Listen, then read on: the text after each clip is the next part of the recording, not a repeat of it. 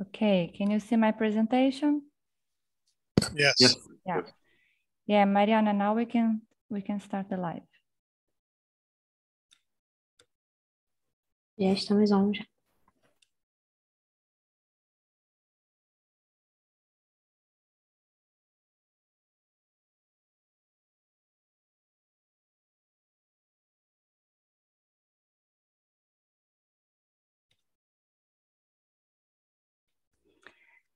Good afternoon.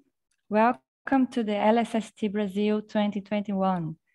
This is a two-day remote meeting organized by Linea with the purpose of keeping the Brazilian community well informed about the Rubin Observatory, the LSST project, and the Brazilian Participation Group, especially regarding the upcoming new opportunities for Brazilian researchers and students in early 2022. If you are watching us live, today is December 7th. My name is Julia Gschwend. I am a data scientist at Linea, and I have the pleasure of being the chairperson for this session. Before we start, I would like to remind you that all the details about this meeting are available on the, web, on the website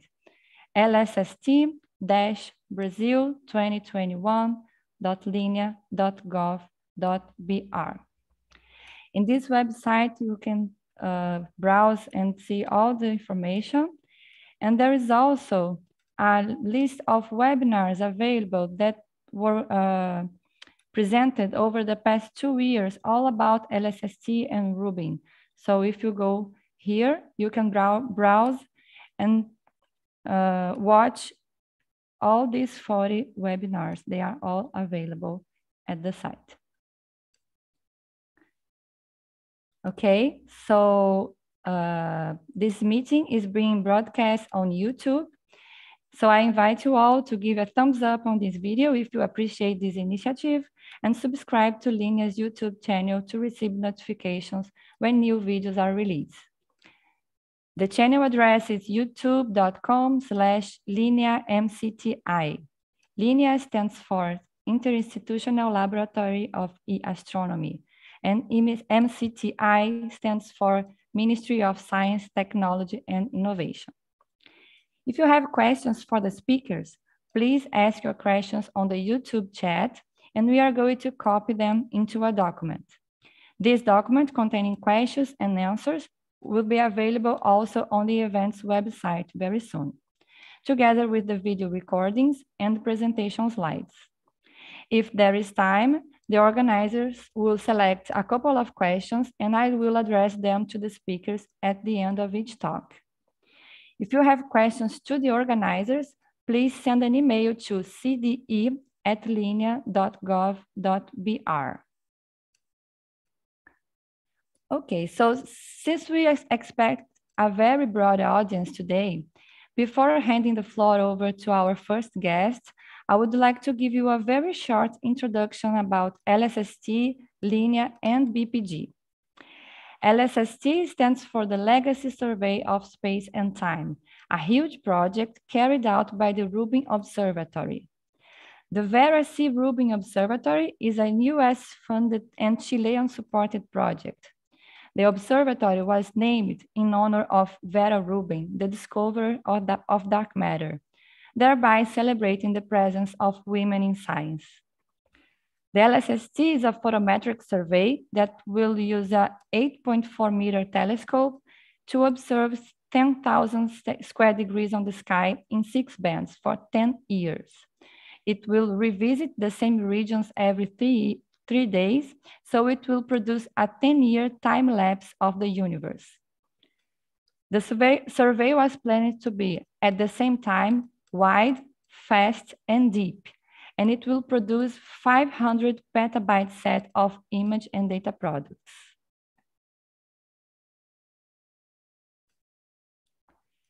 The LSST data will be a valuable resource for almost every field of astronomy, astrophysics, and cosmology.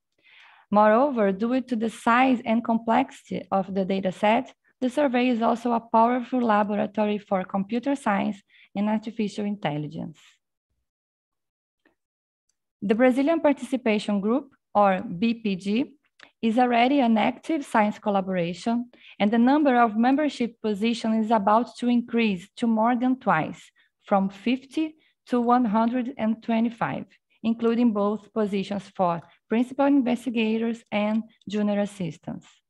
Tomorrow, we are going to have an entire section that, session dedicated to learn about the Brazilian Participation Group.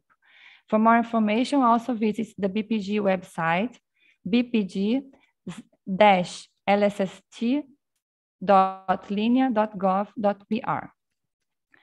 Besides US and Chile, many countries participate in LSST by offering in-kind contributions to obtain data rights. Brazil is on this list thanks to the contributions offered and negotiated by Linea. And for those who don't know about Linea yet, we are a non-profit organization to support Brazilian community to participate in big international projects by providing services like data access, computing infrastructure, science-driven software, science portals, data visualization and data analysis tools, training for early career scientists, and public outreach. You can find more about Linea on linea.gov.br. So what to expect from the day one of this meeting? Let's take a look at our schedule for today. So in the first session, we are going to learn about the Brazilian participation from Rubin's perspective, the construction status, and the science opportunities with Rubin and LSST. And then we will have a 10 minute break. And in the second session, we are going to learn about data access at Rubin, the LSST Corporation, and last but not least, education and public outreach at Rubin. So without further ado, let's welcome our first guest, Dr. Greg Madejski from SLAC at Stanford University. So I'm going to shop, stop sharing.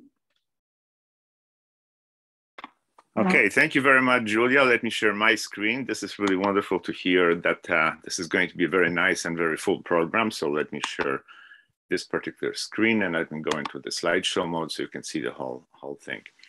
Uh, I'm Greg Madejski, and I'm at Stanford University and uh, at SLAC and I'm a member of the Rubin Observatory Community Engagement Team, and that is really basically my uh, my goal here to uh, to tell you what we're up to and so on and so forth. Okay, so as Julia said, the Rubin Observatory is a very large 8.4 meter telescope, which has importantly very large field of view. And one of the reasons why that is very important is because it actually is designed for surveys. You can see the, uh, uh, the sketch of the telescope and also the footprint of the uh, observatory uh, sky uh, of the sky on the uh, on the slides on the left hand side, uh, and you can actually see the little piece, uh, a picture of the of a moon. This is a telescope that has a 3.2 degree diameter, about 10 square degrees worth of a uh, of solid angle on the sky, and you will hear a lot more about the details of the status of the instrument and of the science goals uh, from from subsequent speakers.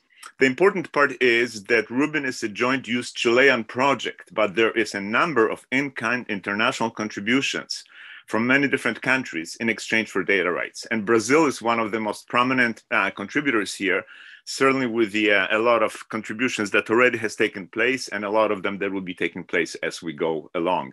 A lot of it is in form of software development. Substantial part of it will be via the um, independent data center that will be a uh, present, I believe, in, in Brazil, although that's still under discussion exactly what will happen there. All right, so let me just go to the next slide. And here you will see the four driving science goals for the Rubin Observatory. Uh, the four of them, uh, which are the four pillars on which the whole project is being built, is that uh, perhaps the most important goal where there's a significant um, funding coming in from Department of Energy has to do with probing of dark matter and dark energy. And that's done via a variety of different tools, strong and weak lensing, study of large scale structure, uh, and also galaxy clusters, supernovae, and variety of other means of measuring, for instance, the, the Hubble constant and so on and so forth.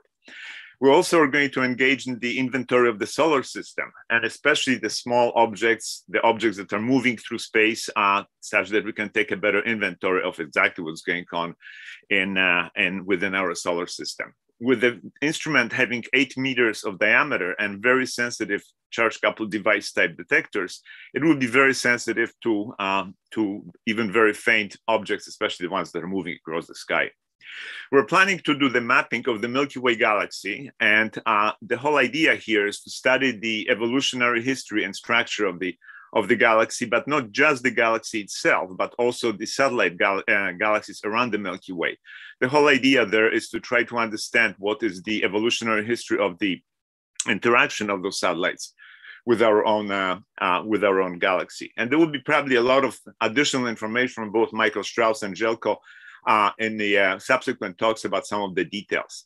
And finally, the last bit uh, is the last of the four pillars is the exploration of the transients in the sky. It's variable stars, exploding supernovae, and so on and so forth. So the whole idea here is to try to uh, understand what is the process of the variability and discover those exploding and transient stars, and perhaps follow them up with spectroscopic and other kinds of measurements.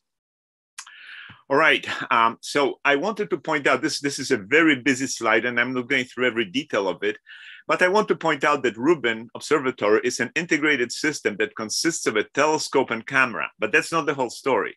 Of course, a very important part is this very large scale data management that has to do with the fact that the data have to be properly calibrated, they have to be properly uh, uh, referred to the uh, absolute positions on the sky and so on and so forth. So um, basically, the uh, integration here has to do with the uh, basically making sure that the data system data management is done correctly, that is done in such a way that the whole thing uh, conforms to the uh, to the project requirements. All right, um, so now let me talk a little bit about the Rubin Science Platform because that's really something that uh, those of you who are going to participate in this project probably will see as the um, as the as the as the facing uh, um, aspect of the, of the data. The total amount of data is so enormous that it's simply not going to be possible to download the entire uh, data set from the Rubin Observatory. And therefore, the scientists will have to work next to data. In other words, instead of bringing the data to your computer, you will bring your own applications to the data system, which is the Rubin Science Platform. It's basically an integrated web-based set of applications running at the Rubin Observatory data access centers. I'm saying centers is because there will be a main data access center, uh, and then there will be satellite smaller ones that will be only uh, allowing the users to perform only some limited set of functions. So the uh, Rubin Science Platform contains uh, multiple different aspects. And the two main ones are the so called portal aspect, when you can actually explore and visualize or the Rubin archive. And then there will be notebook aspect, which is done via Jupyter Notebooks, which is basically this data analysis by bringing in your own set of tools and accessing via a tool called the Butler data that will be sitting in the in the archive and you can actually reduce the, the data that is only of interest to you rather than bring the whole thing into your um, into your own computer. So Rubin is organized around eight science collaborations. And again, as I hinted, the science at uh, Rubin is going to be uh, done basically by joining in those science collaborations. So any of you who are at all interested in, for instance, something having to do with galaxies and something having to do with the uh, um, strong lensing or so, might want to uh, reach out and join those uh, science collaborations. That is actually, the science collaborations are very open. And uh, at the moment, there is really no very strict restriction that you have to have data rights to start joining into the science collaborations. Again, as Julia mentioned earlier, the total amount of the uh, of the data access for the Brazilian community will be quite extensive. So you can expect that there will be a pretty large number of the uh, PI uh, slots. So the uh, science collaborations, I'm going to list them so you can actually identify the ones that you might be interested in, is transient and variable sources. Those are supernovae, those are uh, active galactic nuclei, or maybe even fast radio bursts if we are hoping to discover those. In those transient and variable sources, we anticipate that an important ingredient will be sources that maybe have done something else in other bands. For instance, we expect that there will be gravitational wave source follow-up there might be follow-up on the uh, um, on sources that are, for instance, gamma ray emitters, very bright, very transient gamma ray emitters. For stars, Milky Way, and local volume, that's pretty straightforward. This is basically an understanding of evolution of our own Milky Way more than anything else.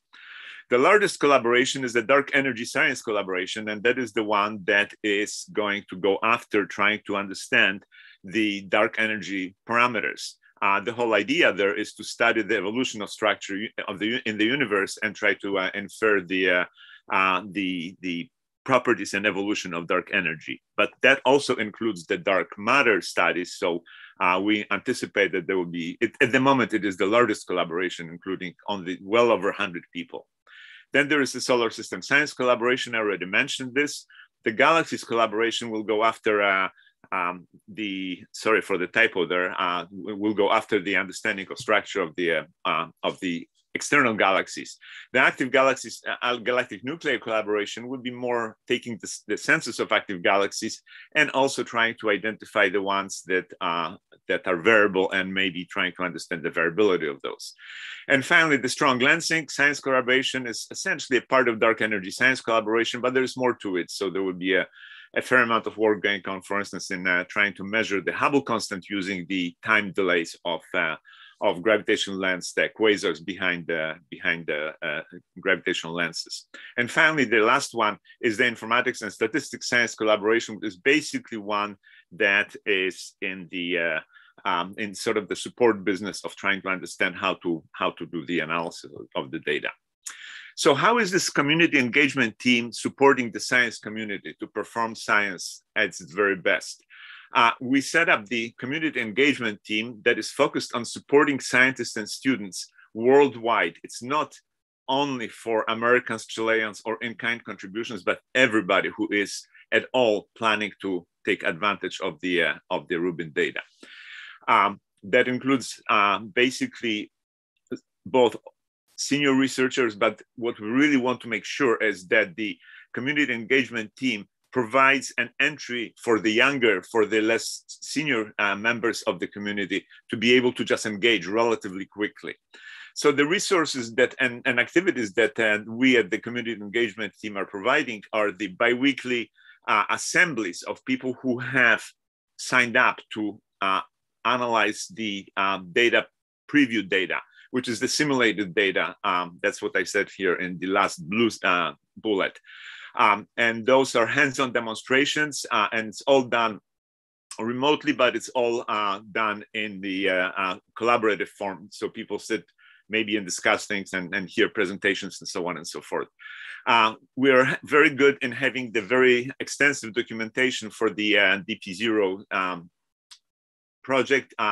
and the reason why I'm basically not extending the grade uh, about uh, the discussion about DP0 is because that is you, if once you join in, you will see that we'll have the next uh, step, which will be a um, data preview um, 0.2, where uh, we will have more uh, opportunities for people to participate and to join in and to learn about how to analyze the data um, every member of the community who signs up for participation in data preview will actually be given a computer account uh, on the Rubin Science platform and can actually get there, put their hands on the data, on the simulated data, but still data that will look just like the data that we expect to be happening, uh, to be taken by the, by the instrument. Uh, so um, in the very nearest future, we are planning to, um, again, make an uh, announcement about the, uh, the beginning of DP 0.2. And uh, uh, the important part here, which is what I want to leave with you, is that you don't have to wait until the telescope is operational. You can get involved now. You can learn how to use those tools, and you can. You know, there is actually a reason why we really like to have a broad community participation in this, because we anticipate or we expect, we hope for a feedback to learn what is that has to be added to the outward facing uh, Rubin Science Platform interface to make it easier for all of you to participate in this, to take advantage of this wonderful data set. Okay, with at this point, without uh, much more ado, I think that there will be a lot more uh, as far as the instrument and the uh, status, of, status of the instrument and the, and the, the, the anticipated uh, data uh, from other speakers. So uh, let me stop sharing and um, I will be very happy to answer any questions if anybody has anything.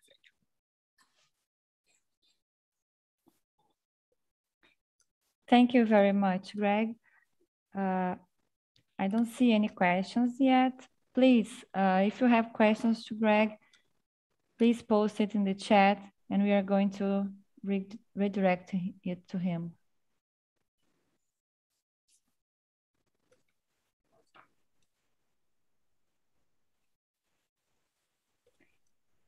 Uh, well, I don't see any questions for now, but um, uh, let just to let you know uh, again, uh, the, the, the questions would be posted in a Google Doc and will be posted later on uh, together with the answers in, the, in our website. So I think we can move on to the next speaker, which is Dr. Željko Ivezic from the University of Washington.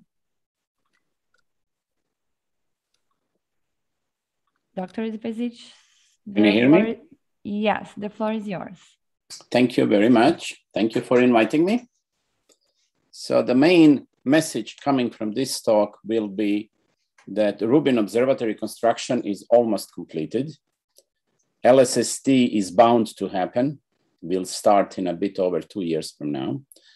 And most importantly for people in Brazil, the time to start serious preparations for doing science with LSST data is now. So even though there are still two years to go, I will show you in some slides that there will be a lot of opportunities to get up to speed using extant data simulations prior to data release one from LSST. And these details and some other details that I put in slides, you can download. Here is the link for this talk, for these slides. There will be some busy slides that I intentionally included, even though I'm not going to dwell too deeply on them, but they may be useful to you later. So um, I'll talk about three topics. I will first show you some brief introduction to the concept. And then most of my talk will be about the construction status of the observatory itself. I'll show you some pretty photographs that will illustrate where we stand right now and what is left to be done. And then I'll comment at the end with a few slides on what are we doing to prepare for operations, both as an observatory and also to prepare our stakeholders, our scientists for operations phase when you will be busy using our Rubin Science platform and doing science. Many of these slides I borrowed from my colleagues. I'll give them back once I'm done here. So this is my intro slide when I talk to people who are not astronomers to explain to them what is the place of Rubin Observatory analysis, this survey in the overall global context of optical astronomy or optical near infrared, if you will. So we have two space telescopes, James Webb and Nancy Roman telescope, that are successors to the Hubble Space Telescope, one with much larger mirror, that's James Webb, and the other one has almost exactly the same mirror as Hubble, but it has about 100 times larger field of view.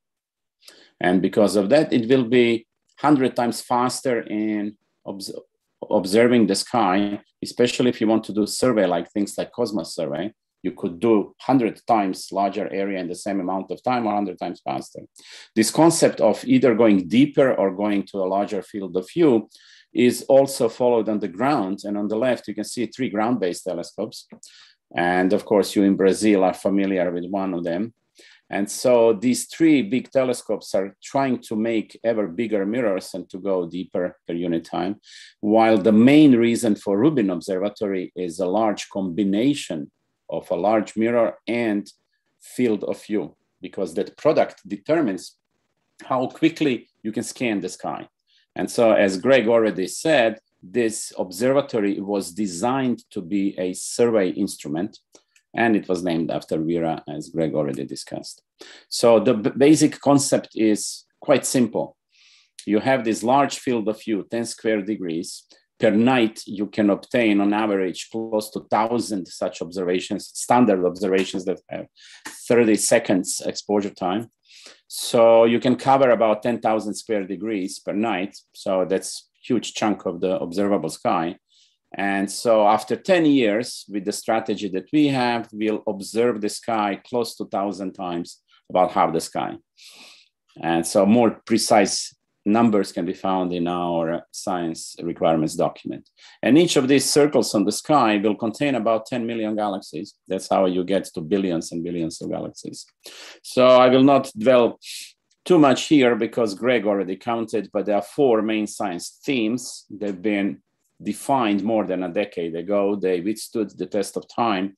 Key point is that they will all utilize the same data set. There will be no time allocation committee for the majority of observing time at Rubin Observatory. And I'll get back to that point later when I give you more details about the survey. A more detailed discussion of the progress in science that LSST data will enable will be presented by Mark, Michael in his talk after this one. So basic concept is to cover the sky in six bands, very similar to SDSS bands, very similar to dark energy survey bands that you are familiar with. So it's U, G, R, I, Z, Y.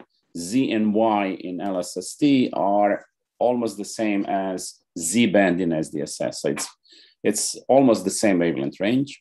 As I said, we'll have 10 year survey that will obtain about 1,000 observations when summed over all bands on the sky. That's why we call it digital color movie of the sky often in our propaganda talks. It will be close to 100 petabytes of raw imaging data. When processed with everything else, metadata, it will be about 500 petabytes data set.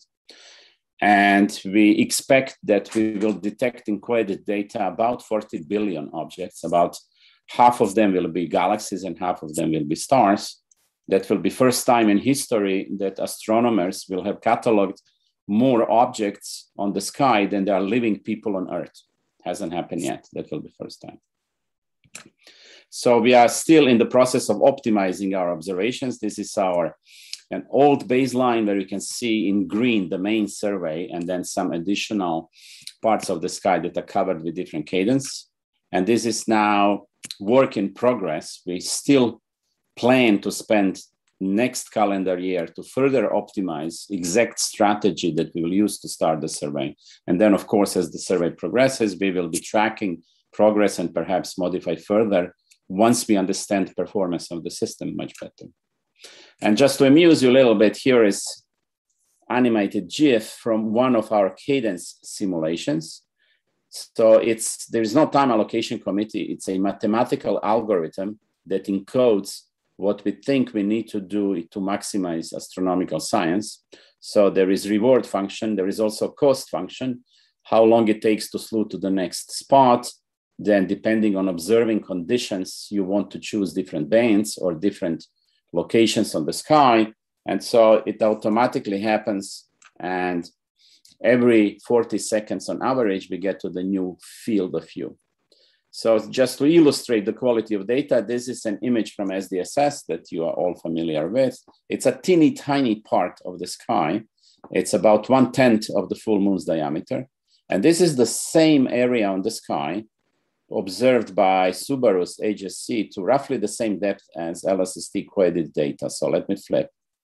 So you can see what is the progress when you go from SDSS to LSST across half the sky. LSST area will be 5 million times larger than this image.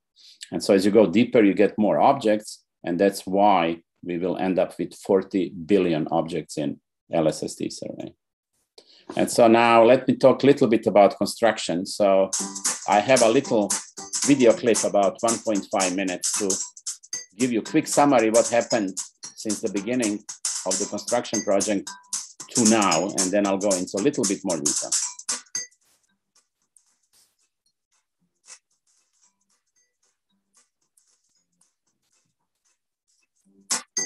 This is done with drone. If you didn't know, Rubin Observatory has its own Air Force. We have two drones, LSST-1 and LSST-2. That's how we make these amazing video clips and photographs.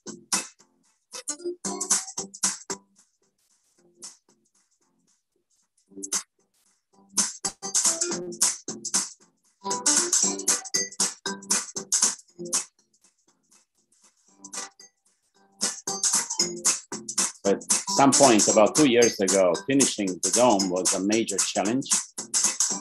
But fortunately, it's almost done now, and it will be formally done in less than a year. You can see the moment when the top assembly on telescope was added. Let's see, hang on a second. There we go. And so this is status now as of a few weeks ago.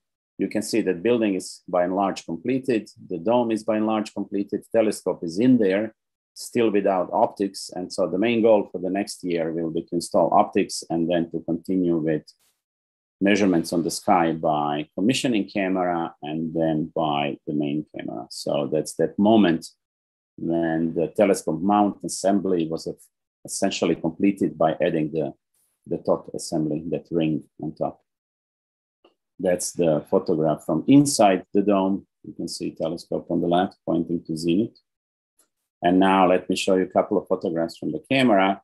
About a year ago, this, uh, this uh, focal plane was completed. It was fully paved with CCDs. This is a bit older photograph where I wanted to show how these rafts were being installed in the camera. It's a very slow process tolerances are just few microns. So it goes with a special robotic hand and it's it's very carefully designed not to have CCDs touch each other. This is the focal plane at the end. So there are 189 4K by 4K CCDs. There are two types of CCDs, I'll show you a slide later. And this is one of the first images that were obtained with our main camera. That's the image that Greg showed of Vera working on, on her radial velocity measurements. So there are two types. We had to use two vendors because initially we wanted to see which one would be better, but then in the end it turned out that neither of them could deliver the required number of CCDs. So we had to resort to two. On the right, you can see differences in their QE curves. Most of the difference is in G and R band. And before you start worrying about calibration of this data, uh, this difference between the two types of sensors is much smaller than the difference in overall throughput that is induced by the variations of the atmosphere and by the variation of air mass of your pointing. So this is not a problem to see these differences between the two. Indeed, it opens up opportunities for various systematics analysis where we just use data from one sensor and you ask if you get the same scientific conclusion from the data set that is based on the other sensors. Because again, we will have in each band hundreds of observations so you can play these games. We also have six filters delivered and accepted. Here you can see examples of some of them. They're quite large. In this box, there are two of them, but just a couple of weeks ago, all six of them were stored in this box and waiting for being shipped to Chile. So essentially, we have all the hardware in hand, and most of the hardware is actually already at the summit. And so, what remains to be done is integration of all the components and then commissioning of the system. Here are photographs from clean room at SLAC, where the camera, main camera, was assembled. You can see on the left cryostat being lifted, and then it was uh, mated with the heart of the camera in the middle. And we are now in the process of electro-optical testing where we are trying to do as many measurements as we can accomplish given the schedule that will later help us fully observations with this camera. This is now the summit. This is one of the floors of that big building at the summit this, this uh, instrument is what we call commissioning camera. From the outside, it has the same dimensions as the main camera. It also has the same weight. Uh, when another piece is added. So it can be used to test many aspects of camera installation. And it has one raft. What, what we call raft is these three by three CCDs, nine CCDs, that is essentially an independent camera. It has all the electronics underneath CCDs. So they can be replaced. If something happens, you can replace them. And so one of these will be tested when we start using this ComCam commissioning camera on Sky. And that is supposed to happen early in 23. So roughly speaking, about a year from now, this ComCam is supposed to be installed on the telescope and start obtaining images of the sky that will look like this lab image on the right. That's in about a year from now. Here are a few more photographs. You can see M2 secondary mirror surrogate version in the back on the left. You can see M1, M3 surrogate on the right, this white big uh, circular disk. And then far in the back on the right, you can see the the dome of the coating chamber where we will be regularly recoating these mirrors. And then finally, the, the last main component in addition to telescope and the camera is software.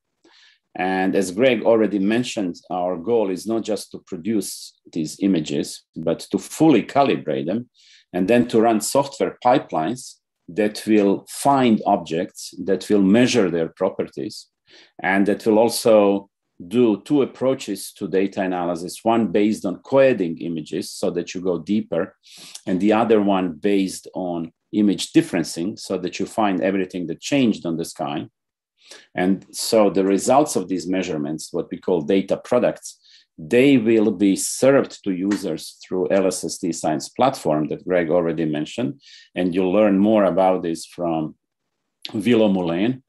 So it's not just images, but it's science ready data products that are served to users in a way that will enable efficient science production.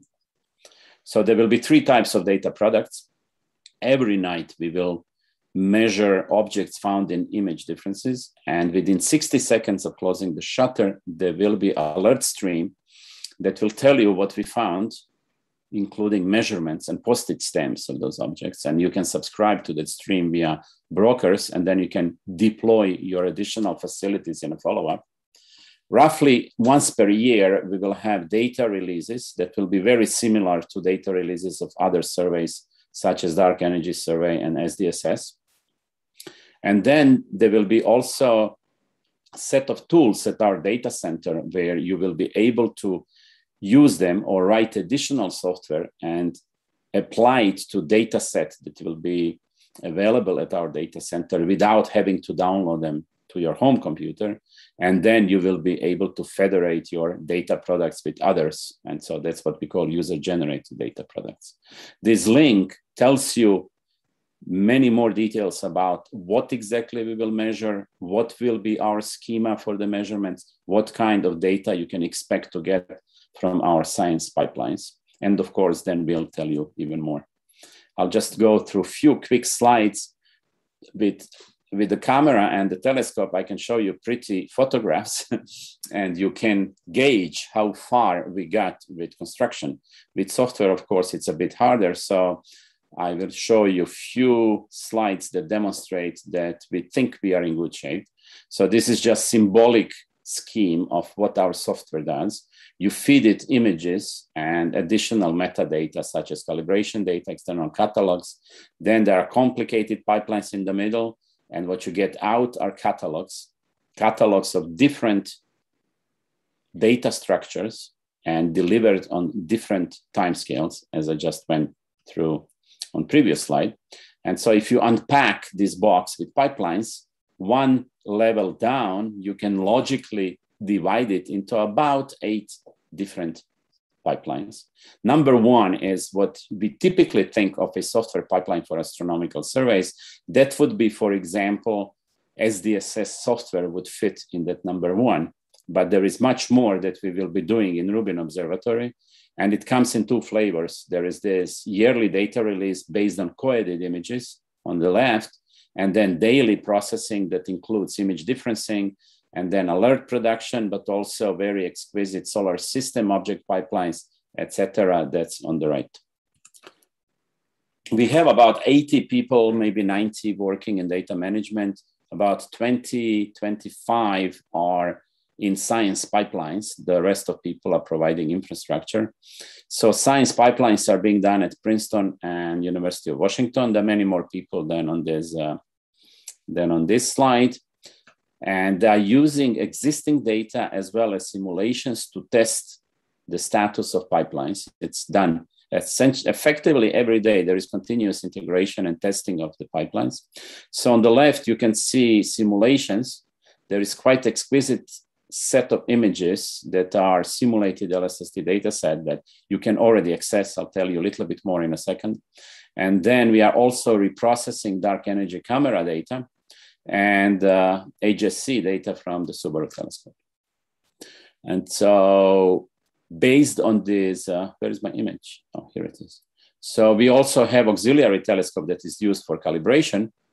And we are already processing those data too. And those data are obtained with the same devices as the other two cameras will have. So this is the third instrument that we have at the observatory. And here is just one slide showing progress with image differencing. If you work in this field, you may remember, for example, Pan-STARRS data that had huge rate of false positives that worried us a lot at Rubin Observatory if we are going to be able to beat it down.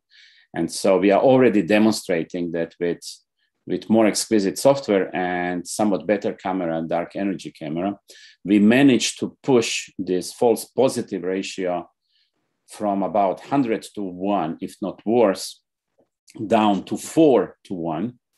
And that's even without any, any uh, AI learning and classification that we can put on top of this. So we are feeling fairly good about performance of these pipelines.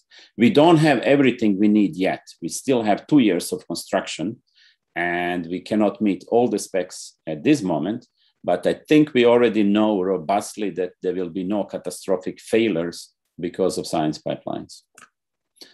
Uh, EPO is another important component of the system. We are lucky that Lauren will give you excellent talk later, so I will not go into details. I just want to use EPO as an example of something that will be done before the formal start of operations. So we, as we finish things, we basically declare them done. And we already have data processing center in Chile, for example, in La Serena, that was finished and delivered to, to operations team. The same is true with, um, with EPO that will be finished by the end of this year, and you, you'll get many more details later. So let me talk a little bit about schedule. And this is our all hands meeting in Tucson picture of the team, about 150 people from 2019. And then, of course, as you know, we all changed the way we are working. So the following year, we couldn't travel.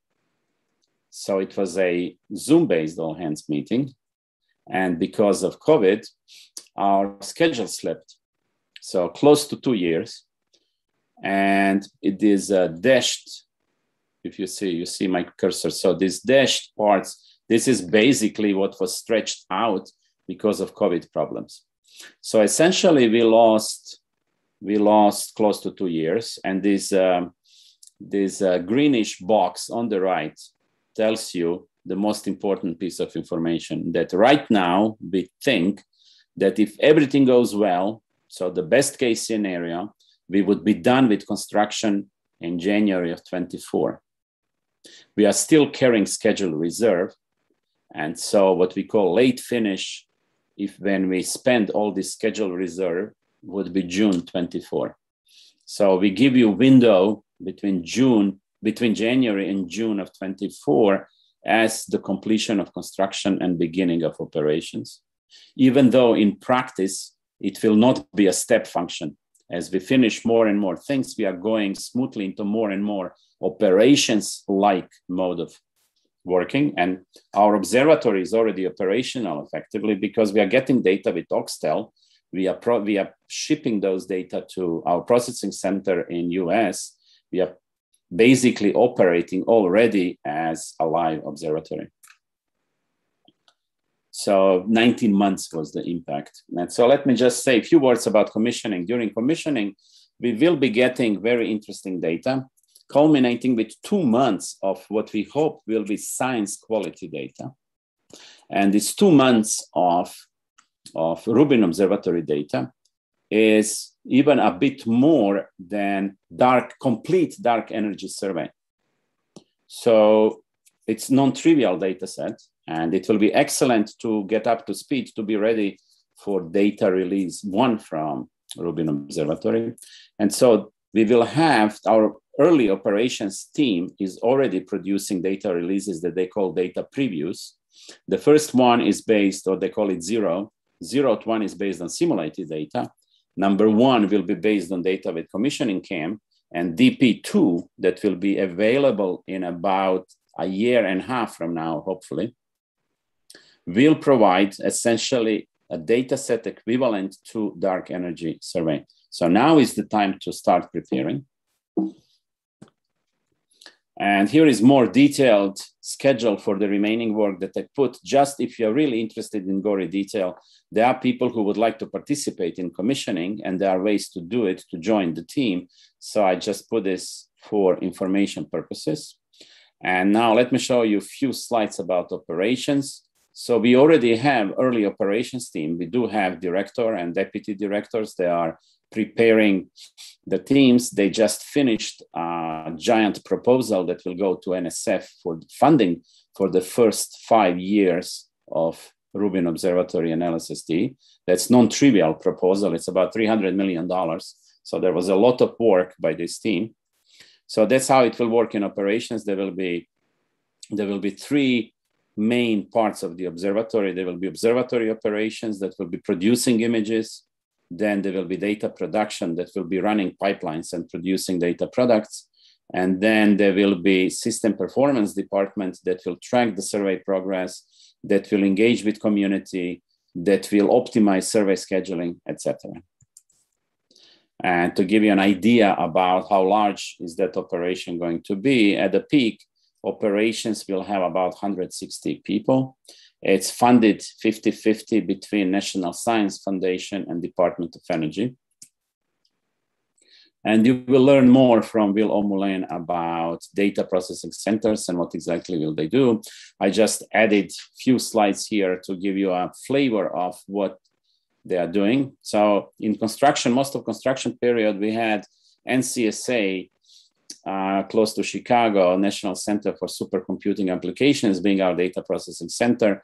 But once the federal government decided that funding was supposed to be 50 50 between DOE and NSF, then data processing center was shifted to SLAC lab, and that's where we are going to do it. Indeed, it will be a hybrid data center where some of the processing will be done or data serving will be done in the cloud, and Will will tell you more about this. So as part, and now comes the important thing for you, as part of this early operations preparation, we already have live data previews, and in particular, data preview 0.1 is already available, and the processing with up-to-date pipelines is now going on, and in by next summer, data preview 0.2 will be available, which will be still simulated data, but uh, processed with much more advanced pipelines. And you can go there, you can get various Python notebooks that show you how to access data, that show you examples of, of scientific analysis you could do. And I went through all of them. And the first impression was, this is fantastic stuff. Second impression was, this is not trivial. there is a lot of stuff to learn in order to be efficient user of these data products. And that's why I'm telling you now is the time to start preparing. Here is the schedule of these data previews. So as I said, 01 is already available, 02 is coming up, and then DP1, DP2 will be based on real data. First one from ComCam, second one from the main LSST camera. And then in data product column, you can see what each of these data previews will include. And if these names in data product column make no sense to you, you can then go to the previous document that I referred, data products definition document, DPDD, and then you can match descriptions in that document with these titles in here. Again, bottom line, first real data from our camera, ComCam, will be released to you in about less than two years. So let me stop here. Let me summarize. So the main message is Rubin Observatory is almost completed. LSST is bound to happen. We hope to start operations in a bit more than two years from now. And the time for getting ready to use our data products and become efficient user of data products is now. Don't think it's too early. There is a lot of stuff to be learned and you are doing good thing by organizing these meetings for your community and trying to get your community to prepare itself. So I'll be happy to take questions. Thank you very much, Dr. Ivezic. So we have two questions. Uh, first is about the filters from Professor Basilio Santiago. Are there empirical filter transmission functions already available or just expected ones? We do have measured transmission functions.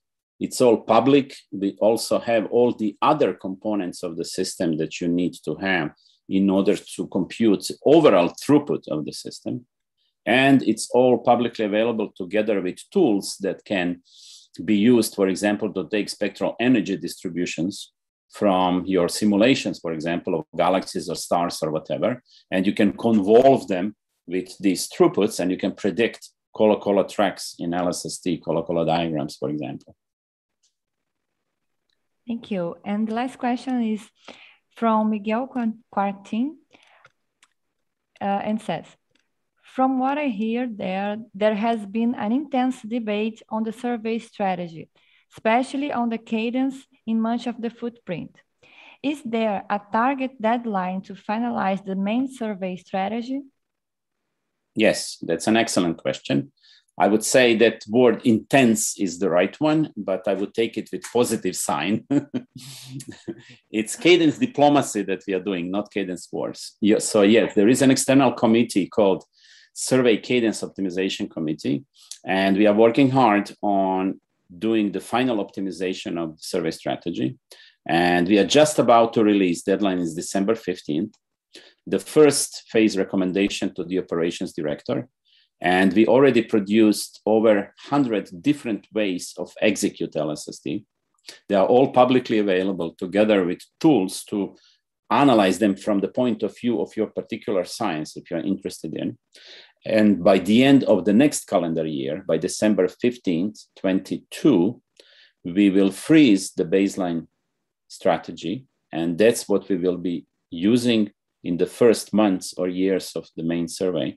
And as we gather data, then we will revisit and see if the survey is progressing as we hoped for, if the system performs as we hoped for, and if not, then we will do adequate modifications.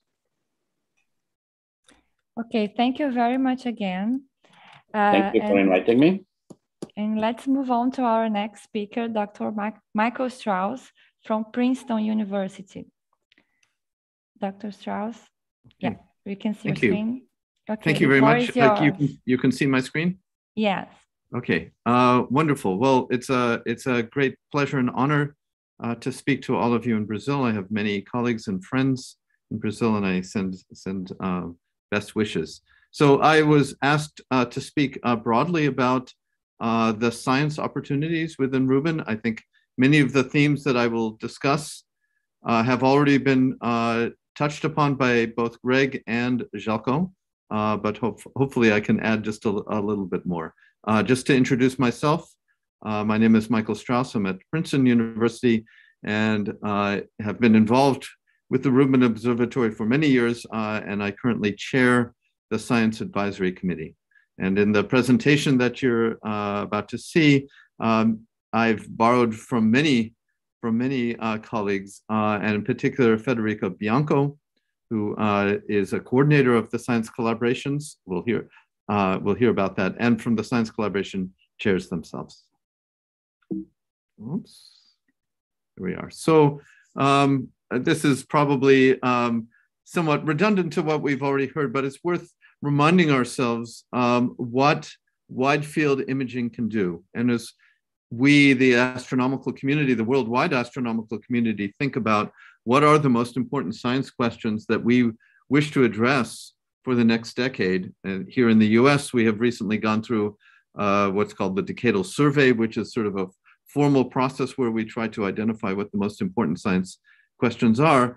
What a theme that keeps on coming up over and over again is that we need deep, wide field, multi-band optical imaging, uh, repeating, uh, observing large areas of the sky repeatedly. And uh, there are many examples of that when we look at uh, want to do a variety of cosmological studies using uh, large scale distribution of galaxies, looking at the weak lensing to measure the distribution of dark matter, looking at the properties of supernovae, uh, all different ways uh, to probe our cosmology. All of those require this wide field imaging. When we want to understand the structure of our own Milky Way galaxy, we're asking for a global distribution of stars and the, and the properties of those stars and their motions. Again, uh, wide field imaging is what we need. Uh, the variable universe and the transient universe is something is a is a major astronomical theme that's becoming ever more important as we discover new categories of of uh, uh, variable objects and learn uh, fundamental new astrophysics from them. And again, to do that, one needs to cover large amounts of sky and do do so repeatedly. Understanding the evolution with cosmic time of galaxies and quasars. Um, again, we find ourselves wanting to go very deep and uh, to measure uh, with, with high accuracy and great precision uh, the photometric and um, morphological properties of, of the objects that we see. Uh, when we study the, the, the nature of, of our solar system and we fundamental new discoveries about uh, both the main belt asteroids and the, the outer solar system and trying to understand how that what that tells us about the formation of the planets and the dynamics uh, in, in there again, wide field imaging is needed. And as a point that Željko has made is that one can address all these questions and more um, with a survey that can be used. A single survey can, can allow us to cover all of these things. And that's really what the legacy survey of space and time really is about. So you've already heard this from Željko, but there are four broad science themes. And it's worth saying that these science themes were developed uh, not to list all, all, everything that the Rubin Observatory may be able to do, but rather to under, to design a system that can do at least this, that then can enable a, a wide range of other topics. So we've already touched upon this. We would like to understand the properties of dark matter and dark energy and measure their properties uh, to, to uh, exquisite precision. Again, with tools such as uh, weak lensing, supernovae, large scale structure, and others. We want to understand the variable universe. There's a, again, an increasing understanding uh, of the richness of phenomenology out there and uh, facilities currently uh, underway are, are um, discovering an enormous range of new phenomena that we hadn't quite appreciated before. And the discovery space is, is broad and, and we want to see all the different um, types of variability and tra transient phenomena that we might be able to explore. We want to, again, understand the structure of the Milky Way galaxy and understand uh, what that tells us about its formation and therefore more generally what it tells us about galaxies forming uh, overall. And again, the solar system, uh, asteroids and comets mapping them out. So again, these are four themes that allow us to think about what the Rubin Observatory has to be able to do and what, how to design the legacy survey of, of, space and time, how to design the cadence, which came up in the questions just now. I'll touch upon those questions as well. But it's worth keeping in mind that this is not everything that Rubin will do. And I'm sure you can all think of many other science themes that, uh, that a survey that can address all these questions can also um, address uh, perhaps your own favorite scientific questions uh, that uh, may not be listed here. So um, it's worth putting this in a little bit of historical context. The Rubin uh, legacy survey of space and time, it builds upon uh, uh, many predecessors uh, and, and former surveys. And it's worth sort of reminding ourselves um, what the capabilities of those previous and ongoing surveys might be uh, and, and put it into the um, Rubin context. So um, this is far from a complete list, and I apologize if your favorite survey or telescope is not listed here. Uh, but uh, at, um, indeed, Željko and I know each other from working on the Sloan Digital Sky Survey that, as you probably know, is a two and a half meter telescope still in operation. Uh, the imaging component of that survey was, a, was covered roughly 15,000 square degrees in uh, five, five broad bands, U, G, R, I, Z. And so we'll see uh, Rubin uses a similar filter set with one more Y filter. Um, there, the uh, sky was observed in those five bands to a depth, at least in the R band, of about 22 and a, and a half. And most of the sky was observed at single time. There's a single exposure over, over that, that full range. Uh, the dark energy survey, which I imagine many of you are involved in, on the Blanco 4 meter in Chile, uh, covering about 5,000 square degrees in uh, five filters, a slightly different uh, set of filters, uh, going to a depth of about 24 and a half. And again, uh, most of the uh, emphasis there is uh, on um, is is on the static sky, and although it's repeat observations, um, um, there the the intent is to go to a depth of roughly this, and the depths I'm quoting are roughly um, five sigma point source depths, something like um, 24 and a half. Uh, Hyper Suprime-Cam, which Željko briefly mentioned, mentioned it's a it's a um, wide field imaging camera on the Subaru 8.2 meter telescope.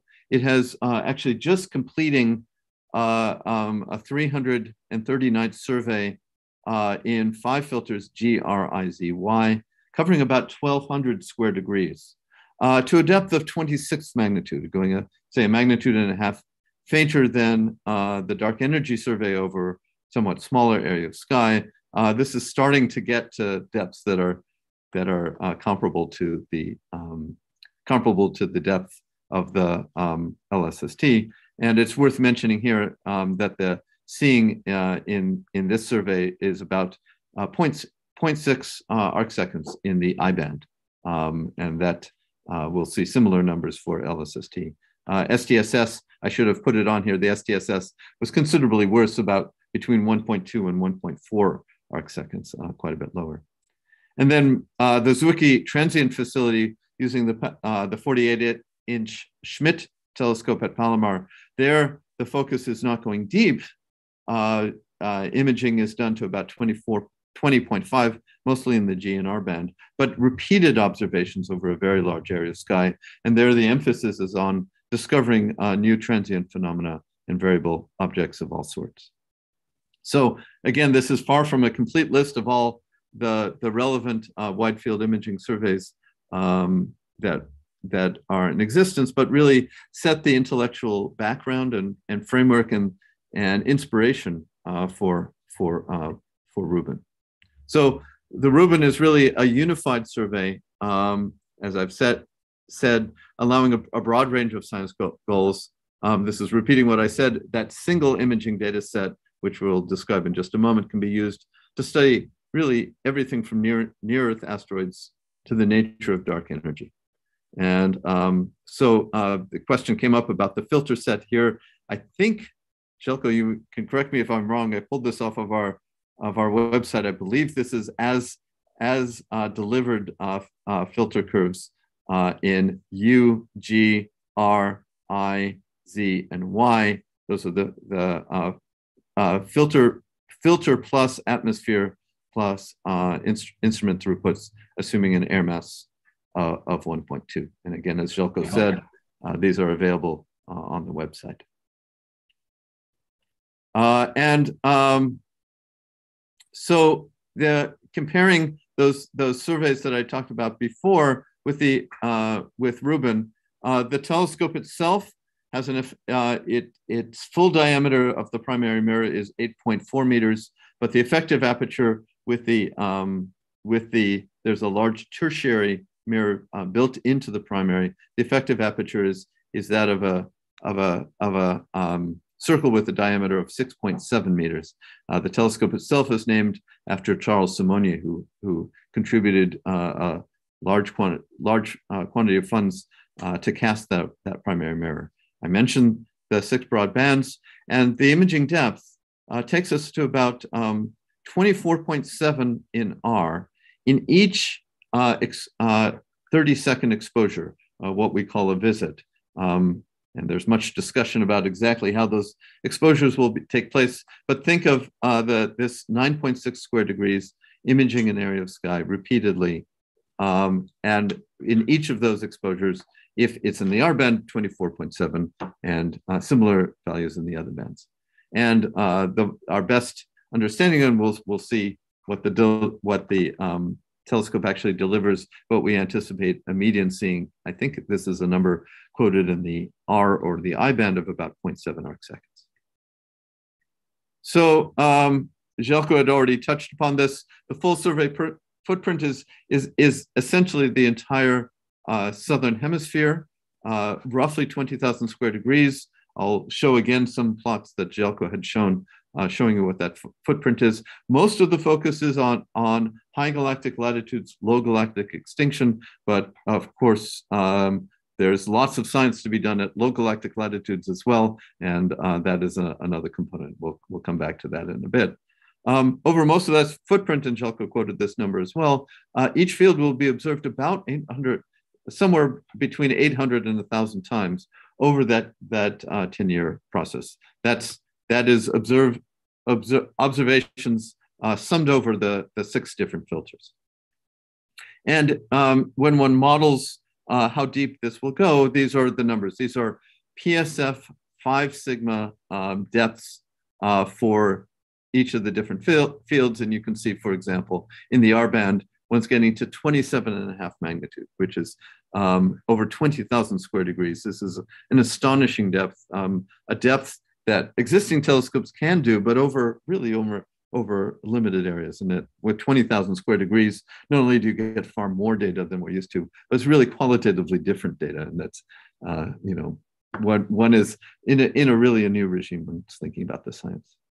So um, um, you've heard this phrase already, this combination of the large étendue, that is the combination of the wide field of the telescope and the large area of the primary mirror and the fact that it's a dedicated telescope, that is, this telescope is being used for nothing other than the survey, means that the survey can really be wide, covering a large area, fast, that is, be able to take look for um, transient phenomena on a variety of timescales with repeat observations, and deep in each of those exposures. So wide, fast, deep is a phrase that we find ourselves constantly using over and over again to, to, to describe the strengths of this, of this facility. So that is wide, fast, deep allows all this thing covering. I think I'm repeating myself. One can go cover a large a large fraction of the sky, do so uh, in the time do, domain, do really deep and accurate. We're, we're really an emphasis on precision and uh, not just not just getting large quantities of data, but we want high quality, well calibrated data in each uh, uh, epoch. And of course, when with repeated imaging, then we can stack the data and go really very faint. So um, uh, Greg already made mention of this. There are eight science collaborations. Um, these logos that you see on the right, um, which I think Greg showed as well, uh, Fed Bianco, who uh, in addition to her uh, astronomical skills uh, as uh, skills as a graphic artist, and she she designed these uh, symbols that you'll see uh, going through here. And what I'm going to do now is, is tell you a little bit about the science collaborations and, uh, and, and some of their activities. And it's worth emphasizing that the science collaborations are, um, are open for members to join of, depending on what your science areas are. Um, I think Greg has already read through the list of these science collaborations, but I will emphasize again that uh, Rubin Observatory Sciences is broad enough that um, we really do not, you do not have to, um, you, one can imagine many uh, interesting science opportunities beyond uh, what's limited here. Uh, and so one need not be limited uh, necessarily by, by the uh, areas that are shown here. So science collaborations, this is just a tabulation of the numbers of members of, of these different uh, science collaborations. Uh, the dark energy science collaboration uh, is, is the largest, 230 full members plus an almost 800 associate members. One becomes full member after you have contributed a certain amount to the activities of the, of the science collaboration. So um, I should uh, mention that, that, you know, as Željko has emphasized, the, um, the construction and the operations, uh, the funding for that has come uh, largely from the US National Science Foundation and the Department of Energy. Um, I mentioned the, the, uh, the large and generous gift uh, early in the project from the Charles Simonyi, uh, and then the, uh, the contribution from, from Chile, which of course is supplying the site and, and international partners, including Brazil. Um, but it, it's worth emphasizing that the um, while the Department of Energy supports the offense, efforts of the Dark Energy Science Collaboration, the science collaborations otherwise are largely autonomous and are um, are working um, largely um, independently, although in at at some level coordinated with the um, the Rubin uh, project uh, and there's uh, a series of, of grant um, programs, and Jenna Sokoloski, I think, is going to touch upon some of those in her presentation uh, later today. So um, I, let me just spend a few moments uh, just describing at a very high level uh, some of the activities of each of the science collaborations. Um, these slides are a combination of slides that the science collaboration uh, chairs themselves have developed and, and things that I've pulled together uh, and I won't be able to talk through all of them. The dark energy science collaboration, as its name implies, is sort of all aspects of, of modern cosmology. Uh, and it's worth emphasizing this bullet near the middle here. What are the cosmological probes that, um, that the Rubin Observatory will allow? Studies of clusters of galaxies, the large scale uh, distribution of galaxies, large scale structure, supernovae uh, as a standard candle to, to um, study uh, the Hubble diagram at, at high redshift, gravitational weak lensing to, to study the distribution of dark matter, and gravitational strong lensing uh, to do detailed uh, measurements of, um, for example, uh, time delays in gravitationally lensed quasars. And uh, again, this is the largest of the science collaboration uh, collaborations. And as they emphasize, when one is not limited by st statistics with the enormous data set that Rubin will produce, but it's all about systematics and, and minimizing those, to, understanding and then minimizing the uh, systematics. And so it's an enor enormous effort that, that's underway.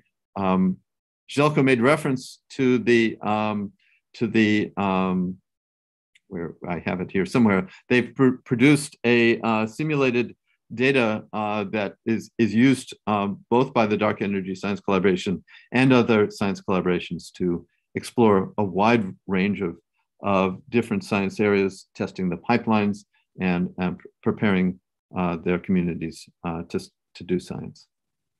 Transients and variable stars, um, it, you can see that's an incredibly broad range. They're uh, studying uh, the extragalactic universe, uh, all kinds of um, questions of supernovae, tidal disruption events, variability in, in quasars, uh, um, and then galactic sources, um, um, uh, repeating variables, um, Cepheids and RR Lyraes, uh, binary stars, eclipsing binaries, uh, microlensing, an enormous range of different topics. Uh, I believe they have something like 13 different um, working groups within the science collaboration to explore uh, everything. Um, this this schematic on the right right side shows that there's an there's an enormous um, richness of different areas uh, under, under the um, general rubric of transient and variable science. Stars, Milky Way, and local volume is all about the Milky Way galaxy, the physics of the stars, uh, doing stellar populations in, in nearby galaxies uh, that are resolved. Um, that with uh, the repeat observations of LSST, one gets um, one gets uh, excellent astrometry and proper motions. I didn't put up numbers here for parallaxes, but for the nearest stars, within 300 parsecs. We'll get parallax measurements as well, going considerably fainter uh, than Gaia. And in fact, uh, at Gaia's faint end, um, Rubin and Gaia have similar uh, precisions for, for both proper motions and, um, and for uh, parallaxes. Uh, and um, this list of working groups gives a sense of the range of different topics that, that they're uh, actively working on. And there's much, much more work to be done there. The solar system science collaboration, uh, these are numbers uh, that are maybe slightly dated. So uh, it's perhaps, it's these may not be the latest numbers, but here are estimates of the number of asteroids uh, of different types. Uh, near Earth, I typo there. 5 million um, main belt asteroids, whoops, sorry, main belt asteroids, 100,000 near Earth asteroids, Trojan asteroids, trans-Neptunian objects. These are estimates of, of what the of how many objects for which we will get um, orbits from from Rubin Obser Observatory, six-band photometry, and and further characterization. Um, and so there's a huge range of, of different topics to explore there. Um, questions of, of activity in the asteroid and, and uh, comet population. Um, there's um, how, how does one determine those orbits? Uh, what is the optimal way to do that? How does that relate to the cadence? Those are all questions that the Solar System Science Collaboration is working closely with the project to explore. Galaxy Science Collaboration, uh, the estimate is that uh, at the end of the survey, um, Rubin will have discovered 20 billion galaxies. I think, um, as Željko said, that's more than the number of human beings on Earth. Um, many different uh, questions to ask of those. One of the key um, themes within the Galaxy Science Collaboration is studying the low surface brightness universe, looking at the low, uh, the low surface brightness outskirts of galaxies, looking for the low surface brightness galaxy population itself. How does one measure photometric redshifts? optimal ways of measuring uh, spectral energy distributions. Uh, how does one measure um, morphologies? The image on the right is, is an image from the uh, Hyper Suprime-Cam, just a few tens of square degrees. What uh, this is uh, imaging going to roughly the LSST full depth, although over much, much, much smaller areas of sky. And it, you know, when one goes at, at high galactic latitudes, the faint universe, it's all, it's all about the galaxies, and um, one sees the richness of the data that one, one will have. Uh, active galactic nuclei are um, um, exploring the properties of, of, of this subclass of galaxies, but there's a huge range of different, different science to do. do. Um, the prediction is that um, Rubin will identify of order 10 million uh, active galactic nuclei of of various sorts selected in a variety of ways.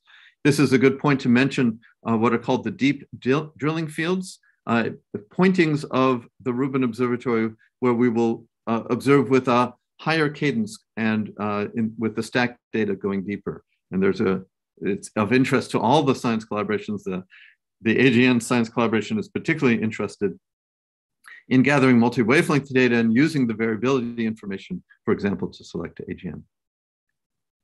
The strong lensing science collaboration, it's, a, it's uh, studying all aspects of, of the gravitational lenses that uh, Rubin will find. Um, estimates are up to 100,000 lenses that will be uh, described. There's a huge range of different science uh, that's outlined here. I'm getting a little close in time, so I'm going to not read through this all. And then the, the last of the science collaborations to mention is a, a slightly different one, the informatics and statistics science collaboration, um, which is uh, really focused on modern uh, machine learning and AI techniques to, to, do, to do science and really is, is working with all the other science collaborations, as the graphic on the right shows, uh, to uh, explore um, met methodologies, interesting algorithmic questions, and various things. Um, so um, that is a, a, separate science collaboration of its own. So just a few themes uh, moving forward. Uh, and um, it's one of the things that we, the Rubin Observatory community is thinking about is, okay, um, we'll make all these wonderful discoveries. What, what um, facilities do we need to follow up and understand the discoveries that are made? For example, follow-up observations of variable or moving objects uh, become very important for many different science areas. And so there's a great, Željko mentioned this, there's going to be a steady stream of alerts for all uh, objects whose properties change between uh, Rubin Observatory exposures. Uh, how do we recognize which, which, of the, which of the millions of objects that will be flagged each night, which of those are of most uh, scientific interest for your own science area? How does one do the follow-up? There's um, sort of community-wide discussion of building uh, telescope um, um, facilities to, uh, to, to do this in a, in a coordinated way. Um, another question is, how do we as a community do the spectroscopic follow-up to do uh, to get uh, accurate spectroscopic redshifts to to characterize the, the populations of objects that we find? Um, it's a broad question about uh, which is there are a number of facilities currently under construction and uh, now underway, and I've listed some of the acronyms here um, for next generation uh, wide field spectroscopy. And the synergy with the uh, Rubin is, is really uh, quite striking. And uh, of course, we have two major near infrared survey facilities soon to be launched, uh, Euclid from the ESA and the Roman spacecraft, uh, I'm sorry, the Roman Space Telescope from NASA.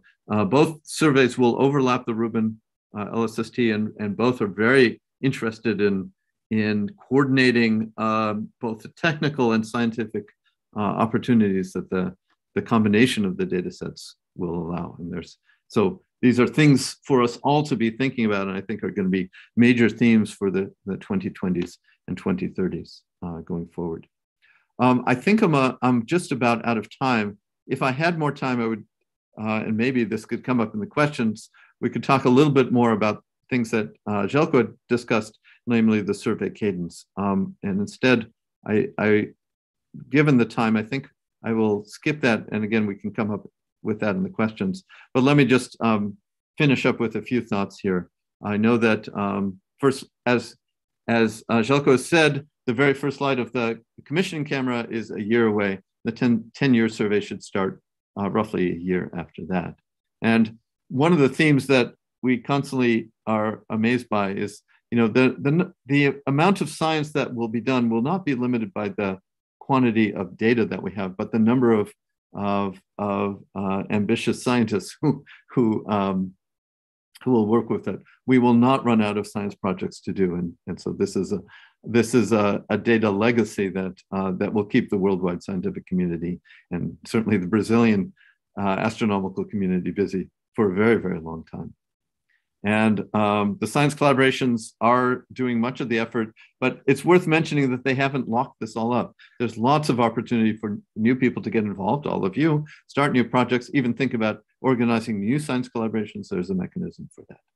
Uh, and so the 2020s will be the decade of the wide field surveys, and Rubin will be leading the way. with that, uh, let me finish and ask if there are any questions. Thank you very much for another amazing talk. We do have three questions, but, but since we are uh, on time, I would invite Michael to answer them in the Q&A document.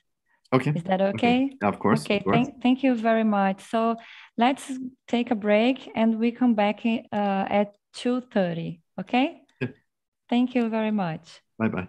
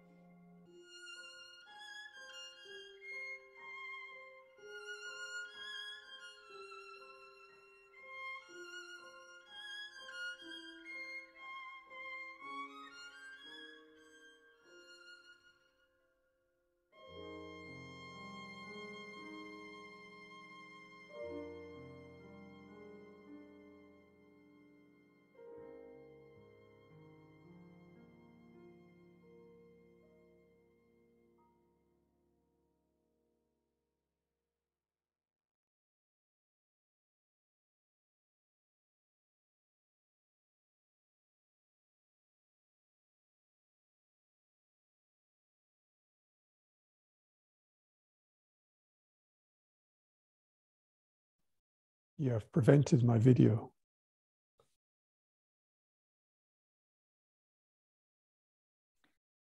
Hello, Will. Welcome. Uh, would, would you like to test your screen sharing? Sure.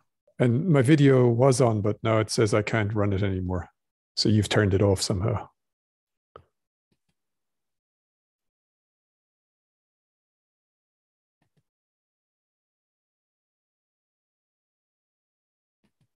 Can you try again? Yeah. It's okay now. Yeah, we can see you. No, I just gotta No, find the no, right. he, he, he's trying to, to play a video. No, no, yeah, my video. That's okay. And there, and now's my uh, slide deck should also appear. Yeah, the, Yeah. the slide deck's here. All right.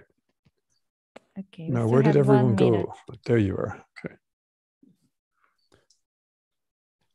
Oh, there's n- there's nobody with video on anyway, so I can see the chat if there's any questions you want to put in directly during the talk. No, no worries. I'm going to read the questions if there is time. At the end, well, At the end, okay. Well, Yeah. you, you can. If they otherwise come, becomes becomes very complicated. well, I'll finish on time. Don't worry. okay. Okay, so it's 2.30. Uh, okay, so let's resume our uh, presentations. Welcome, Dr. William O'Mullane from the Rubin Observatory. The floor is yours. Hi, uh, good morning. So I'm William O'Mullane. Um, I'm based in Tucson. And uh, in operations, I'm the associate director for data production, uh, which is uh, which I'll describe exactly what we have to do, everything to do with data and data access. Um, about half an hour, so uh, I've got a lot of slides to get through. Um, I think you've probably seen this already from Željko. Uh, this is the vision that we have in construction of how everything works in operations. Uh, nothing's changed in recent times, so we still believe we will take about 20 terabytes of data a night. We're going to produce prompt products. I'll talk more about those later. We're going to produce data release products. I'll talk more about those as well. Alerts will go out to the brokers uh, within about 60 seconds. And within about 24 hours, there'll be more prompt products, etc coming out. And then the annual release or every six months, uh, well, six months for the first one and about a year, every year after that for data releases.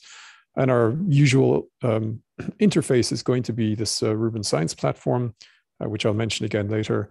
And of course, we also have now uh, several data centers working with us and independent data access centers, both of which I will return to at some point. And uh, questions are welcome, and I'll try to be quick to get there. So, with data production, data production is almost like data management in in construction. Um, this little chart on the right is the uh, observatory operations, data production, system performance, and education public outreach. These are the four big departments in operations. And uh, we have to basically produce all the data products in data production. Uh, I remind people that LSE 163 is available to you. It's a public document. It is the data products definition. It tells you all of the products coming out of the observatory. Uh, we have to make sure we're making good observations. So we have to talk to the observatory operations people and system performance as well to make sure we're meeting science goals.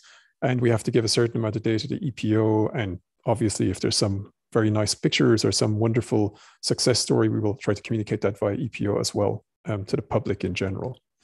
And of course, all during all of that time for 10 years, we're supposed to improve the uh, hardware and software systems and keep them all running. This is uh, just to give you, um, you'll have these slides afterwards if they haven't been sent to you already. So you can look in detail. There's some names on here of who's running each of the teams within data production. Uh, also the leads of the data facilities in the UK, France, and the USA. Um, just so you have that. Uh, the uh, infrastructure team is the largest of those uh, that's based at SLAC mostly, and some at Fermilab. So that's broken down into further set of groups. Again, leads are mentioned there. I think this is useful for you to have some names if you want to know who's who or who you should contact about something. This is a good lead into that. Uh, RTN 21 is linked on this slide. That's a document that describes this structure and tells you how we're hoping to get the uh, US data facility up and running in the near future. System architecture again comes over from construction. So you see we have the base at La Serena, we have the observatory on the summit. We're taking down all the telemetry so that everything to do with what's happening, sensors and thermometers on the observatory, uh, as well as all the data down we're archiving that. We're sending it to the prompt ingest, uh, and that's going to prompt processing in the states within uh, a few seconds. Um, from there, we do the alert distribution. And on the back end, we have this data backbone. So all the data files can appear at the, U at the US facility. Uh, we will also be moving them uh, over to the UK and French facility. So France has a full copy. Remember, the UK will have at least some of the data to do some of the uh, offline processing. That's not in real time. That's a little bit longer term process. And then, of course, we uh, release catalogs into Qserv, which I'll mention a bit later. And again, Science Platform is the uh, access point for all of this for our science community. Uh, there's a large document, LDM148, linked on this slide, which gives you details of all of these boxes and how we hope they all fit together to give us a good operational system. Um, so yeah, we now have a US data facility. Last year, we were having a little bit of a crisis between it was going to be one place, then it was going to be someplace, and now finally we know where it is. It's the uh, it's SLAC. Uh, SLAC, of course, we have a long history of working with True Construction for the camera, so we know how they do things, and uh, we're used to working with them at the project level. Um, this will be in a shared data facility within SLAC, and they will do 25% of all of the data processing. They do all their prompt processing. Um, and of course, they also do the data access for the, uh, the US community and the international community. There is a document, uh, DMTN 189, which is the specification of everything that has to happen at the USDF if you're interested in those details. Then we currently have an interim data facility, which I will again come back to, where we will run pre-op pre-ops activities, uh, which SLAC are also involved in, and the transition plan I already mentioned. Uh, the hybrid model is currently our baseline for going into operations. Uh, this is interesting and relatively new, so you may not have heard of this before. The idea is that we will keep the science platform potentially running on Google or some cloud provider outside of SLAC, where all the data, the data release processing, prompt processing would still happen within SLAC in the US data facility. Uh, and of course, the prompt, the, the DRP processing will also be done in France and the UK partially. Um, but the user interface would be presented and user management would all be done on a cloud platform. Uh, this gives us a separation of security concerns so we can make SLAC a lot more uh, secure if we want to. Um, and we can be a little bit easier about adding users to the cloud platform because we won't have access to SLAC hardware, even though data will be cached out in the background. Uh, this would also allow us to burst for data releases or for AAS meetings when everyone's trying to do their paper um, and they suddenly want access to data and we have a lot more users at peak than we would have usually. Um, and we feel this also reduces risk since we have this running quite nicely at the moment in this uh, form. At least we have everything running on, on cloud. Um, there's a tech note just mentioned there as well about this. Now, the, uh, the plan for getting us set up, of course, we need to get the US data facility up and running. So there's again a bunch of milestones here. Uh, we're hoping to run initial processing on our on hardware at SLAC that's project owned uh, early next year.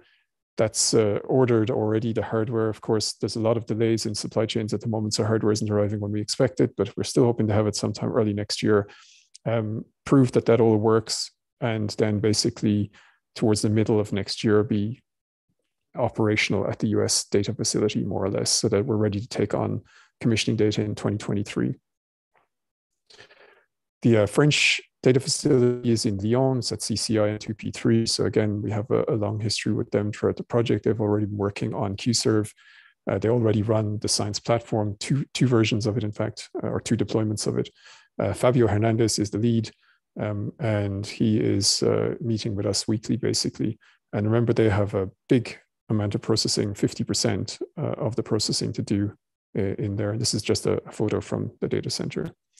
Uh, the UK facility is in Edinburgh. So again, there's a, a nice building, there's nice places to visit. Um, and uh, they already have some pipelines installed. They're looking at how they can do uh, uh, value added products with something like Vista. They're running the science platform already as well. They're also running Qserv as do the French. Uh, so they're quite set up to be um, fully interoperable with what we're doing. Um, they also have Rucio and Panda expertise. so Panda is going to be our workflow management, most likely for operations, and Rucio will manage our file transfers between the, the uh, major data centers. Uh, George Beckett is our lead there. And again, he's on the org chart, so you can see where he fits into the picture. Underneath all of this, of course, we have networks. Um, Brazil, of course, is providing us a redundant path uh, for getting to the USA. Um, that's well appreciated. And that means we have redundant links all the way from Chile to basically the ESNet. And within the ESNet, there are multiple redundant links for getting us to SLAC, for example. Um, so this is all pretty much in place. We're missing a, an out of bounds wireless link to the summit at the moment, which we could really do with, because uh, we've had a couple of outages where that might have been handy. Uh, we've recently just got our backup link to Santiago in place in the last few months. Um, and that's, you know, the primary link there has been less than brilliant. It's failed frequently in the last year and a half. Uh, so having a backup is quite important to us on that link on that area as well. Okay, so you've seen um, actually a bigger version of something like this is a few arc minutes as opposed to a few tens of arc minutes, which was uh, shown by Michael. Um, this is a Sloan picture, so you know we've done wide image servicing surveys before. Uh, I've in fact worked on Sloan as well. This is this equivalent field in Hyper Suprime-Cam, so you get to begin to see Again, Michael said it, galaxies are key. More importantly, the galaxies kind of overlay on top of everything else. And so everything becomes blended. So we have a pretty challenging job to do process these images. This image is processed with uh, our pipelines. Uh, so we are testing with these type of images already. And we're still not meeting our requirements, but we'll get there uh, soon enough. So we're, we're getting quite well on that. I think uh, for this community, you're interested in user compute. What does that mean exactly? And I wanted to point out that within the plan, there's 10% of the US compute available for uh, users. Um, this was never really well specified. What does that mean? I think in the early days, it was meant to be batch computing. Uh, we didn't have the notion of a science platform where you could run a notebook. Uh, so in fact, that has to be part of that 10%. It's built into the sizing model. So again, DMTN 135 tells you how we work out the sizes for everything. Uh, we're beginning to look a little bit more at what this means precisely. And DMTN 202, I think, is one of the interesting documents, again, for especially for users external. This is the kind of use cases we think we should try to support. Uh, we're not sure what we can do. So next thing we have to do is figure out what's what's in construction and what we're going to end up having to try and do as we enter into operations. Uh, I will also point out 10% isn't that much. Uh, lots of people on the science platform, you could use up that 10%, well, you know, reasonably quickly. Um, it's enough definitely for that, for giving everyone, say, a, pro, uh, a core. Uh, it's not enough to give everyone a thousand cores. So you'll have some sort of time allocation committee for big, bigger batch processes, uh, which will be set up in operations. Just mentioning the science, plat- the uh, science pipelines, it's a, it's a lot of code uh, well over a million lines, million and a half or so at the moment. Uh, it's a combination of uh, C++ and Python. There's some JavaScript and Java in there and Kotlin, uh, but basically underlying there is C++ and Python uh, is used basically for almost everything else. If you look at this plot on the right, you can see that in fact over the last few years, since about 2017, almost everything has been in Python and the C++ has pretty much been in maintenance. Um, so that's uh, you know good that we're basically adding quickly functionality using Python tools and libraries. Um, a couple of notes are mentioned here that are of interest. Again, crowded field photometry, where we are at the moment, DMTN 129, and anti-blending DMTN 38. Then, uh, so I presume Željko also mentioned something along these lines. I'm sorry I wasn't here earlier. I'm, I'm in a, in a review at the moment, so I'm just stepping out to give the talk. Um, I think things are changing a little bit. The way we look at how people do science with astronomy through archives as opposed to observer driven proposals. And obviously, on Sloan, we have no observer driven proposals. You can't request a specific observation. But hey, good news, it was made anyway because we're going to see everything eventually um, across the Southern Hemisphere. And uh, I worked previously on Gaia. It's the same story with Gaia. Gaia is a spinning satellite. It's surveying the, the sky. You can't ask it to do something specific. Um, but you will get data from everything because it will see everything eventually. Uh, we're sized, again, coming back to that 10%, was something along 10, five times the number of Sloan users. Uh, it could be more than that. Um, and the science platform is a little bit different working.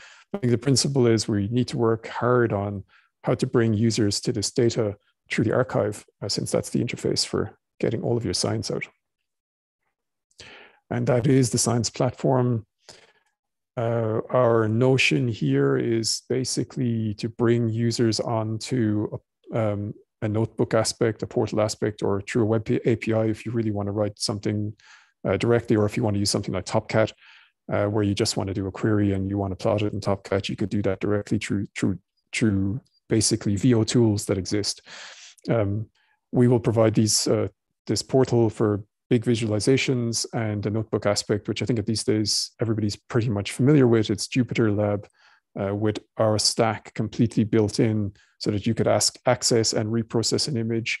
Uh, you could step through the pipeline, you could modify things and play with specific image processing for a given CCD, for example. Uh, I think this is very powerful. The main idea here is we want people, we want to bring people to all of our petabytes of data. We do not want people downloading petabytes of data. Uh, so again, I think this enables science discovery. Uh, it lets you bring your own user environment. We do have a lot of things installed. You can install other tools yourself, which is very nice. Uh, and again, I think most people understand this at this point in time. It was very novel a few years ago, and now everybody's doing it. So prompt products are the uh, the thing, the first of our products that that will be produced. Um, this is the 60 seconds if you want uh, alerts. And then over a slightly longer period, the re, the uh, the processed images that we did each night, the difference images, and catalogs from those specific images. Uh, and when we have templates for everything, we will be producing a lot of alerts. We reckon uh, 10 million transients per night. That's a lot of information for people to digest. Uh, we'll send that out to a series of community brokers. Those are up and running or starting to get up and running at the moment. Each of those are usually they're concentrating on a specific area of science, trying to bring that data set down uh, and categorize it for people a little bit more. So that's going to be quite interesting to see how all that functions in the future. And then the catalogs, as I said, about uh, 24 terabytes a year coming up. Then the data release products, that's on a slightly longer time scale where we will reprocess all of the data uh, we think that by the time we get to the end, when we reprocess everything, we're going to use about 450 million core hours of processing time to produce about 300 petabytes of data. It's a rather large data set. Uh, we have about six months of wall clock time in our plan to do that each year. It grows each year. We will buy more computers as we go further into the processing um, chain uh, time uh, uh so that we keep the processing around about the same wall clock time. Um, again, if you want those products, I mentioned the document before, the DPDD that you can look at seeing what all those products are. Like one of the most interesting products are catalogs. Uh, those reprocessing will produce all of the catalogs. Um, and those are pretty big. So 60 tera rows, for example, or about 10 petabytes for the uh, final data release. That's a lot of objects, and most of the relational databases do not manage that level of uh, data, a number of rows. Um, and we're supposed to produce, uh, you know, we're supposed to answer queries on very small areas in under a few seconds, scan the full object table in an hour or so um, for lots of users, and do deeper analysis with joins uh, over about eight hours. So this has all been taken into account, and uh, this Qserv has been built Sorry, my slide is not advancing. Um, not sure if it's advancing on your side. Mine is stuck. Uh, anyway, Qserv is a, a, massively shared, nothing massively parallel processing system. It's based on SQL underneath.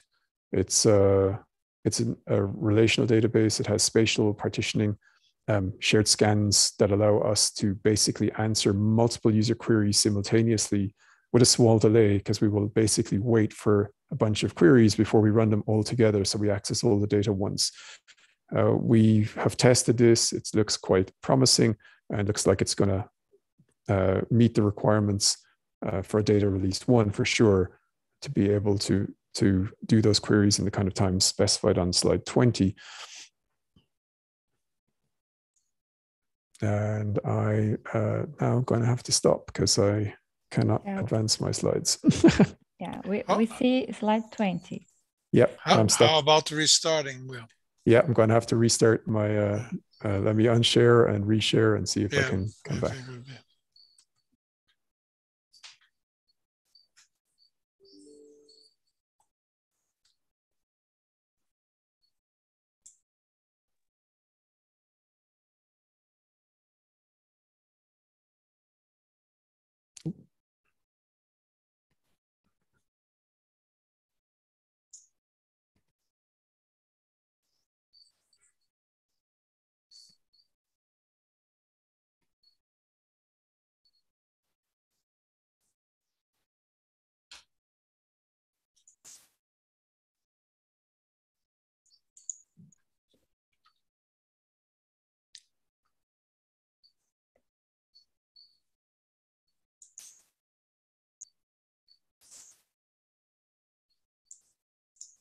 Almost there.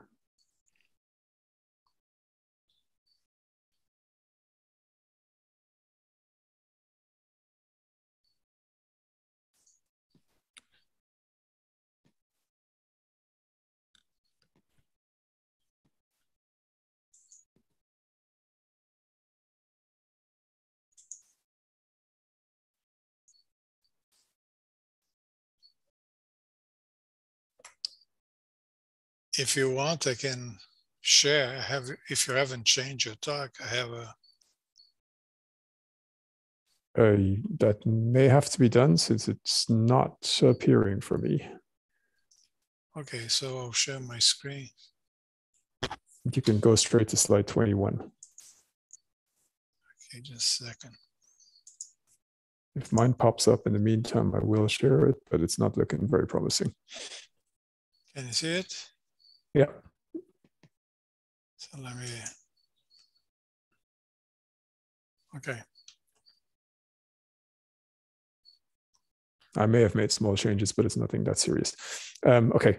Uh, I just said all of this while my screen went blank. So I think there's a couple of documents linked here uh, also about uh, um, testing with BigQuery, for example, against BigQuery and the most recent scaling tests of DMTR71. So feel free to click through on those. Uh, next slide. All right. Um, so interim data facility, I mentioned this already. Uh, we we did a, a tender with uh, cloud providers and chose Google to host a full up data facility for three years to uh, bring us from pre-operations into operations. Uh, we started that in October of 2020.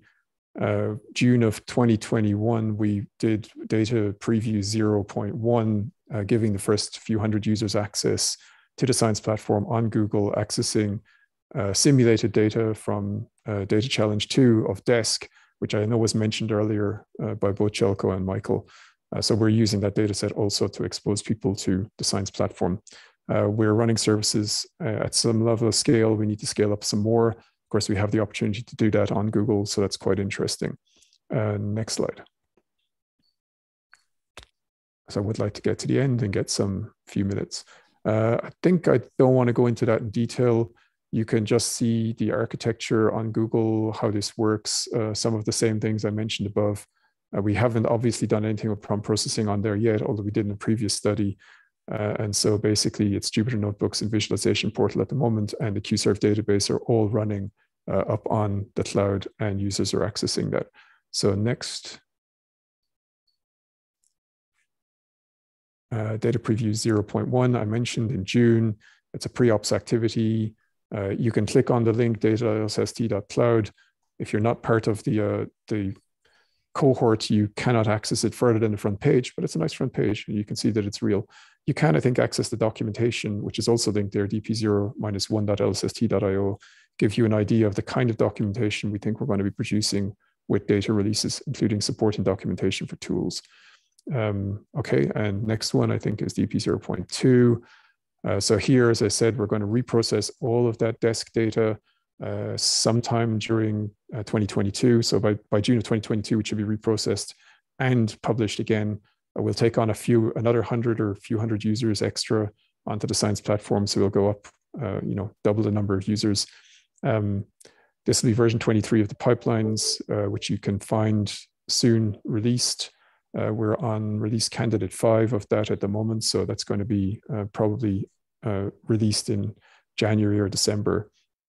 Um, we're going to run the pipelines a little bit differently to the way we've been doing it previously. We're not going to run each patch to the end. We're going to run one step completely. So single frame processing, for example, uh, and then the next step, and then do the combinations, etc. after that. Uh, this is all running with Panda on the um, on the cloud, and we will try later in the year to also do some split of processing between the French, uh, French, UK, and uh, US data facilities. So next slide. And we're getting close to, and so yeah, just to mention community engagement, quite important for data preview zero. Uh, there were um, a lot of people, uh, well, sort of 250 delegates. The, the community engagement team ran uh, delegate assemblies every couple of weeks. There we went through specific notebooks with people, let them ask questions. And then towards the, after a few months, the delegates started presenting their notebooks and interesting things they'd done. Uh, so it was quite good. The feedback was very interesting um, and very supportive. The community in general liked it. Um, and so we found that positive and we got some feedback for for you know improvements especially towards documentation. Um, okay then next uh, yeah community.lsst.org mentioned on there as well. Of course you can access that. It's a public forum. Um, again of interest here i think the in-kind uh, computational resources one of the biggest ones which is dac i've mentioned the uk and the uf processing uh, uk and french uh, processing facilities. Those are already um, up and running. Um, there's also independent data access centers. These will take some subset of the data and usually serve specific science case and potentially add value add onto that some local data set and make it available alongside Rubin data, which is also quite interesting. Um, and then there may be at least one science, scientific processing center which intends to provide some high performance computing alongside the data for people to do specific science cases as well. Uh, I think the next few slides uh, we can go through quickly. Uh, okay, well, challenges of, of IDACs. So from my perspective of construction manager for data production, uh, I look at this IDACs popping up going, ooh, how am I going to manage authentication? How am I going to get them data transfers? None of this was in the original plan when we set up uh, Rubin. So we've now got some things that we have to do extra. Okay, we'll figure out a way of doing that, but it's something to be conscious of as you are an IDAC. Uh, if you're setting it up, that you know there are constraints on the construction side and bandwidth constraints that we have to look after as well. Uh, but connecting communities should be really good. Uh, the next ones, I think we can just go through them. I think they're good to note. These are the different IDACs. Uh, they've their words. These are their slides from a meeting we had previously. I think it's interesting um, how they phrased it. And I think that gets us to the conclusion. Um, so, you know, data production will pick up pretty much seamlessly from data management. Uh, we do have some some work still to do, obviously. I think it's a good demonstration with DP0, um, and we're showing the DRP run at DP0.2, and we're working on with SLAC and the French and the UK. We're meeting every week trying to set up data facilities to make sure the processing is going to work seamlessly when we get to operations. And uh, the IDACs look interesting um, you know, okay, I'm, I'm a little worried what's going to happen with them, but they look very interesting and they could be a good good boost to science, and that's always fantastic. And we're looking forward to Rubin data and operations. And I think the last slide just says questions. Has a nice picture of a of the original blast site and the, the mountain as it is today. So in July, yeah, was pretty. Okay, so I think I left at least a couple of minutes for questions if there was some in the chat. Okay, thank you very much, uh, Will, for the presentation, and thank you, Luis, for, for passing the slides. I'm giving you back at the control, okay? I'm stopping right. here. Okay, I don't see any questions in our document. All right. Uh, then you've got a few extra minutes on your agenda, even better.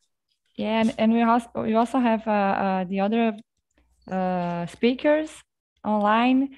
If there's someone would like to make a question, to ask a question, please just unmute and and then we can pass the floor to Dr. Jano Sokoloski.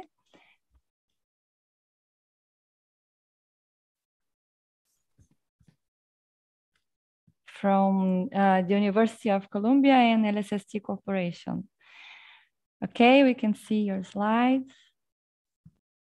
Great, thank you. Thank you. The floor is yours. Thanks. Hi, everyone. Um, and I'm very happy to be here today and adding to what has already been presented from representatives of the um, Federal Construction Project and the scientific community. Oops. Ah, here we go. So you've heard, you might have heard people refer to the LSST ecosystem. You've heard about a lot of different entities. And so I want to start by mentioning where LSST Corporation fits within this ecosystem of organizations that is designed to help get science out of Rubin LSST. So there's the federally funded construction project. There are um, the Organization of Science Collaborations that Michael mentioned, with thousands of astronomers included. And we are, I'm here representing LSST Corporation, which um, is a nonprofit organization whose members are not individual scientists, but um, institutions or consortia of institutions. And so those of you who whose institutions participate in LINEA, um, forgive me if I'm pronouncing that acronym incorrectly, are members of LSST Corporation. So we're a nonprofit, and the goal of this nonprofit is, in my own words, to maximize the scientific output and societal impact of Rubin LSST.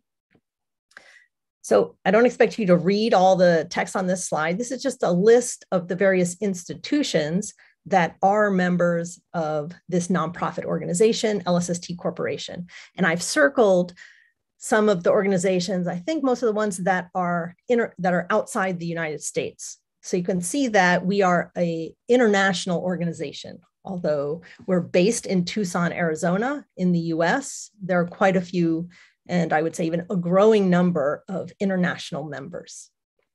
And uh, that connects to part of our goal, which is to maximize the scientific output and uh, of Rubin LSST. And of course, we do that by involving the international com community and helping people collaborate.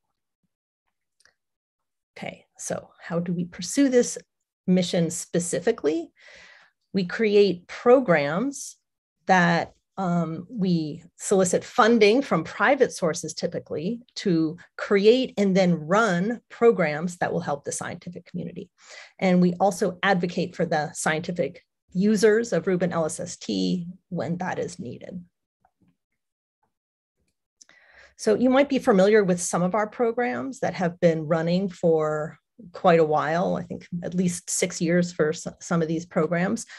Some are student focused. So there's the Data Science Fellowship Program, which is a supplementary data science education program for graduate students that was, I think, started about six years ago and is a highly sought after program, and very successful complement to traditional graduate education in astrophysics. Um, we also have a few programs, mostly before the pandemic, for undergraduate students, which helped provide travel funds so that students who had done some work related to preparing for Rubin LSST could meet other such students, come to the annual project and community workshop, and present their work in a poster and meet uh, in posters and meet other scientists. Um, I think that was paused briefly because of the pandemic, but these are the kind of things that we like to do to help students um, participate in preparing for LSST. And all of these programs that I'll mention, um, usually researchers and students from member institutions, they're, they're generally open to all researchers and students with some priority access to researchers and students from LSSTC member institutions or consortia such as LIneA. In addition to focusing on students, we've been running some smaller programs that um, help provide some structure and funding for um, professional researchers preparing for LSST. So at this point, I think we've funded more than 75 small projects, and a typical project would be a meeting. So maybe providing the equivalent of $10,000 to an organization to bring um, people together to address some aspect of LSST science. Um, we have been a, a key source of support for the science collaborations as they seek to prepare for Rubin LSST science and uh, have basically supported a, a, very a variety of types of small programs. What I want to talk to you about today is our recent success in going beyond this level of small programming for the scientific community, as we have recently launched a much larger multi-million dollar endeavor that has several parts. And two of the parts that are um, that were launched in this past year. Well, first of all, let me just say this endeavor is called LINK, or the full uh, name is the LSSTC Interdisciplinary Network for Collaboration and Computing. You don't need to worry about that, um, but I might refer to LINK um, in the next few slides, and that is this umbrella project that has several parts um, and is intended to serve the entire astrophysics community. So this includes a postdoctoral fellowship program, a new program to help lead the development of analysis software for Rubin LSST, and that's analysis software beyond what's being provided by the project. So the user generated to help users create their own tools and share tools and assess their own tools. Um, and uh, some incubators to allow researchers to visit organizations that are leading the effort to develop these software, the software infrastructure. Um, this the set of programs is administered through LSSTC, as I said, or is based in Tucson, Arizona, but also is being led through a few of our member institutions currently. Um, the two institutions that are leading the effort in the development of analysis software beyond what's being provided by the project are Carnegie Mellon University and the University of Washington. Um, also involved are University of Arizona and Northwestern, and we will seek as time passes to expand that group of organizations that are playing a lead role in helping us run this set of programs. So now in the next couple of slides, I want to dive down a little bit deeper into these two big programs that we've just launched in this past year. The first one is called Link Frameworks, and uh, if you miss anything that I've that I um, said today um, afterwards, or you decide that you want more information, you can find everything that I'm going to cover today on the LSST Corporation website. If you go to that website, there's a series of tabs. One is link, and under that, there's some menu options. One of those is link Frameworks, which is the analysis software development program and another is called the LSSTC Catalyst Fellowship. And so you can go and there's a lot of information there if you're interested. So just a brief overview about Link frameworks, which is again the part of Link that is um, going to that is funded by a private foundation called the Schmidt Futures Foundation. And they will be, we will be working with researchers at Carnegie Mellon and Washington and throughout the community to develop um, some software infrastructure focused initially on three topics, which I've written here a framework for solar system science, a framework for time domain science, and a framework for extragalactic science, there with a focus on photometric redshifts and uh, comparing different algorithms and helping people de- develop um, uh, their own methodologies. So in addition to creating this software, there in the near future, we will be running several uh, workshops, several community engagement programs so that the community can have a voice in what's being created and also have a role in testing and beta testing some of these um, software, these platforms. So coming up, we'll have our first design workshop. An announcement will, I think, come out next week for the first design workshop, technical design workshop um, in March of 2022. And then in the following year, we will be inviting, um, I think, six teams to receive, to apply, to come to visit Carnegie Mellon or Washington and spend some time there as in an incubator situation, really being some very early testers and users of this software. And each will be provided with some funds to make that trip and to support them while they're there. And then throughout this, the duration of the project as it currently stands is about five years.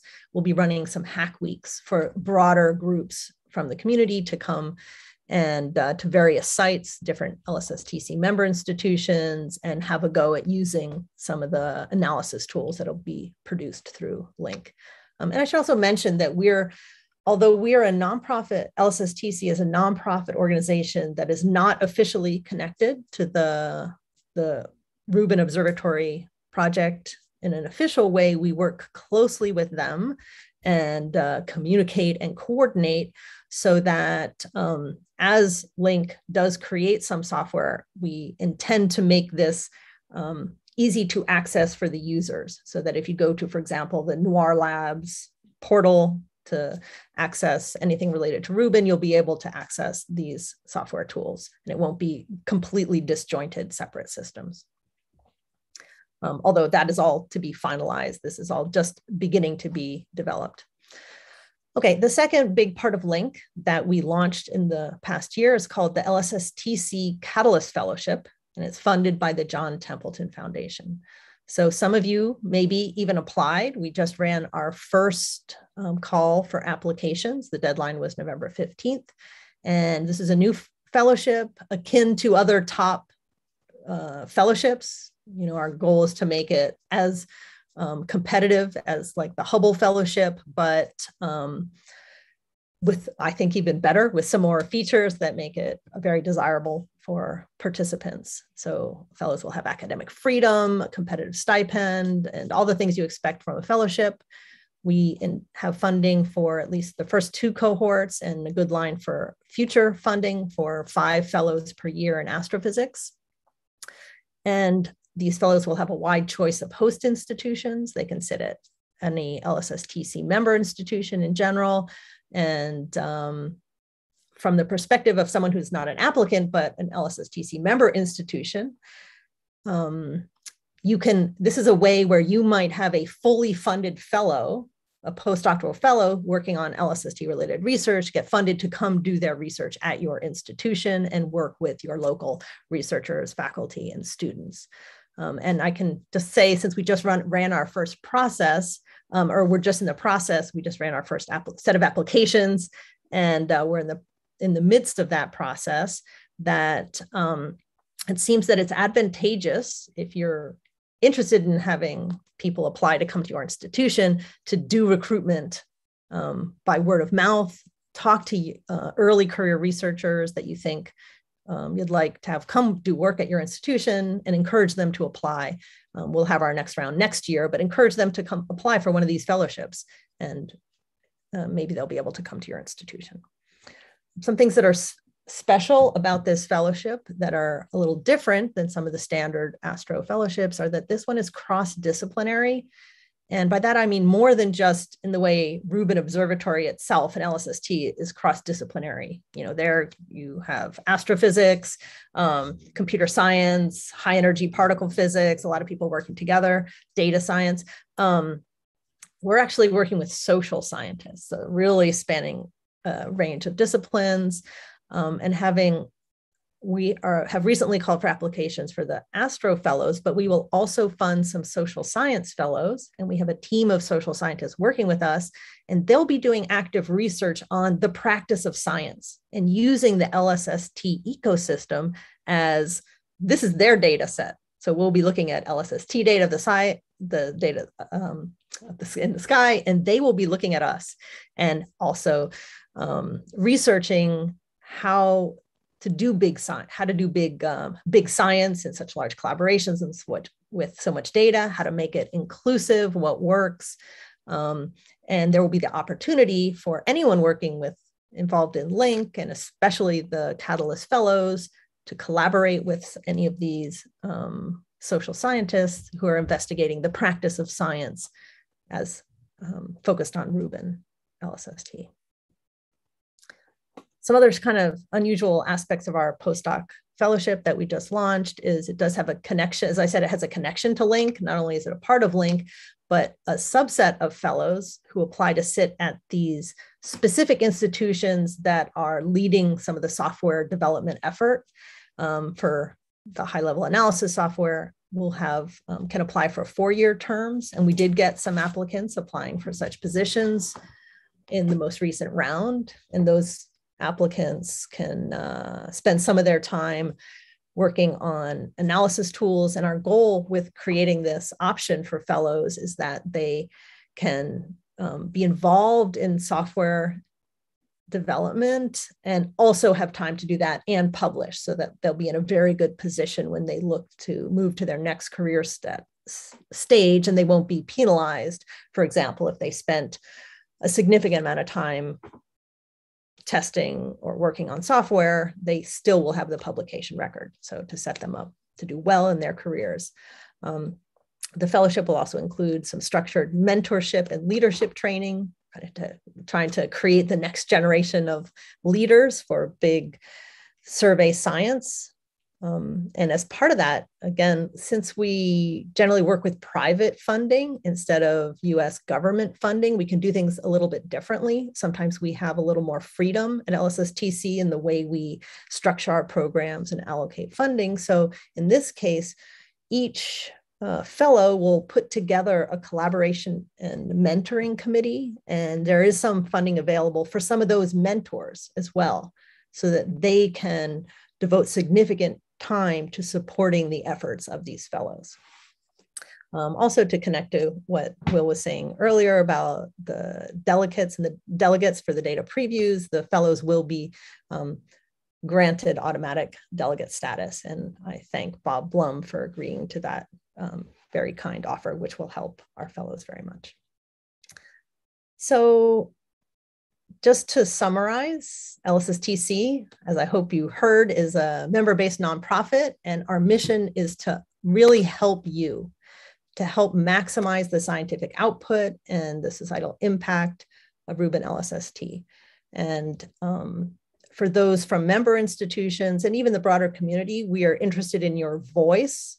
Our members help shape our programs. These decisions that we made, made to focus on say the development of analysis software and um, postdoc fellowships, that came from our members. Those were priorities that our members supported and in fact participated on task forces to help us design these programs and to help get them started. So we work directly, um, we direct work to direct private philanthropy to programs that help the community. And as I said, we've just launched our biggest and most ambitious set of programs. Um, and if you're from an organization, an institution that's not yet a member, I think uh, encourage you to look into joining LSSTC, and there are many member, member uh, benefits to doing so, um, like increased access to our programs, a voice in shaping those programs, and engagement for your whole department in the excitement of Rubin LSST. I'll take any questions if there are. Thank you very much, Jeno. Uh, yeah, we do have one, uh, it's not a question, it's more a comment from mm -hmm. Cristina Chiappini. Thank you for this talk. Maybe it would be worth make some links to the OWSD, the Organization for Women in Science for Developing World, uh, which is particularly interested in equity inclusion in science. That's um, thank you for that comment. We have a task force that is, um, you know, our, we are very, very interested in inclusivity in our programs, and we even have a task force we've set up that is trying to identify such organi- organizations to partner with and to reach out to. So I've written this one down, and I appreciate that comment. Okay, thank you. Uh, and I think we can move on to our last speaker, Dr. Lauren Corlies. Hello, Lauren. Uh, can you share your slides? Hello, yes, I will bring them up now. Okay, present. Great. Great. So you can see them? Okay. Yeah, the floor is yours. Thank you. Great, thank you. Uh, thank you very much for inviting me to speak to you all today. I'm really happy to be here. Um, and so I'm going to present to you a different part of the construction project, which is the education and public outreach program. So I wanna go over who we are, um, what we're trying to do, uh, how we're trying to do it. And at the end, also talk a bit about how you all can get involved in our program in the near future. Um, so the first thing to point out is that EPO is part of the construction project. Um, so the same way telescope and site, camera, and data management are subsystems of the construction project, uh, so is education and public outreach. Um, and so we've been working, you know, for the past however many years to build out this really exciting program that I'm going to share with you today. Um, so our mission is to provide online data-driven experiences that are accessible and approachable adding real world context and opportunities for people to engage with Rubin Observatory and explore the universe. Um, so I'm going to go through uh, what that means to us, uh, who we're trying to serve, and what we've been building to achieve this mission. So our approach to EPO is really uh, uh, locked up in these few uh, phrases here. So first, we're trying to make sure that our program is accessible, by which we mean we're designing our, all of our materials specifically for the general public. So we're not taking tools that were meant for researchers who are doing academic professional research and just giving those to the public. We're really thinking about what is a member who doesn't have all of that background interested in learning and how can we support them in exploring Rubin discoveries. So we're building widgets, online interactions um, that are intuitive and non-intimidating uh, that get people directly to the data and that sense of discovery. We're also trying to make sure what we're building is interesting, which seems obvious, but what we mean by that is that we're trying to provide narratives so the data has context and meaning relevant to general experiences. If you don't have years of background and understanding ast astronomy concepts, then exactly what's so exciting about Rubin is maybe not so obvious to you. So that's what we're working on. So we're going to create news about exciting discoveries. We're curating the alert stream and also the data. So in order to be able to present narratives to the public, uh, and in particular, we're also interested in focusing on the people of Rubin Observatory, who actually makes this project possible. We're also working on making our program engaging, um, by which we mean uh, promoting this interactivity, encouraging the discovery of new ideas and interactions instead of just always reading about things online. So that's part of our programs like citizen science, making sure everything is shareable with your friends and family, videos, etc. And finally, we were really interested in making sure that our program was capable of reaching a large audience. Um, so instead of focusing on local in-person engagement, which is hugely important and highly impactful, we decided that instead we wanted to have as large of audience as possible and put our program entirely online. So to be able to access the Rubin EPO program, all you need really is a cell phone with some basic internet connection. Um, and that's going to be true for all of our materials, the website, um, the interactives I'll show you, and also the classroom education program that we're developing. So who is EPO trying to reach? Um, so this is where we're different from the other subsystems. Instead of reaching out to the scientific community, we're interested in addressing these four audiences. Um, so the broadest and biggest by far is the science interested general public. Uh, so we're building a website and other interaction and interactive tools for that audience. We're also interested in reaching formal educators, by which we mean teachers in classrooms teaching to curricula with students. We're also looking to reach citizen science principal investigators, so all of you who might be interested in starting a citizen science project. And finally, people who are at, uh, science centers and other content creators who might be interested in sharing Rubin. And so what you'll see is a lot of those audiences are focused on people who then in turn can help us reach even larger audiences. So by helping teachers, we're also reaching all of their students. By helping principal investigators, citizen science projects, we're reaching all the people who will participate in their projects. And same with the science centers and content creators, anyone who comes to them looking for stories and information about the universe will be able to interact with Rubin. So I'm going to go through our program that we're building for each of these audiences, just to sort of summarize what are the tools that we're hoping to make available soon. And I'm gonna start with the science interested general public. So the biggest thing that we're building for the public is our website. It's an entirely online program. People are going to want to go to the website to find all of the things that we're building. So this website for the project and operations is going to host all content relevant to the general public. And in particular, it's designed to be inclusive of all users. And by inclusivity here, what we mean is um, physically inclusive of anyone trying to access something on the internet. So making sure that being sighted isn't a requirement to be able to use our materials online or being able to use a mouse to click on things. So any form of device that you're using to get online is something that we'll be supporting. The website is going to feature all of the different things that I'm going to mention throughout the rest of this talk, in addition to other news stories, profiles of people on of profiles of the Rubin staff, interactive, engaging, embeddable things that we're hoping people will want to share. Uh, and finally, to make the point is that um, scientists are going to get directed to other websites. So we'll feature basic information about the observatory here, what it's doing, what are the technologies, but for really technical information related to the survey itself or seeing conditions or anything related to the software, um, that's going to be resources maintained by the Rubin community engagement team. And that was an active decision so that when any person comes to the website, they feel included and not turned off by information that's too technical for them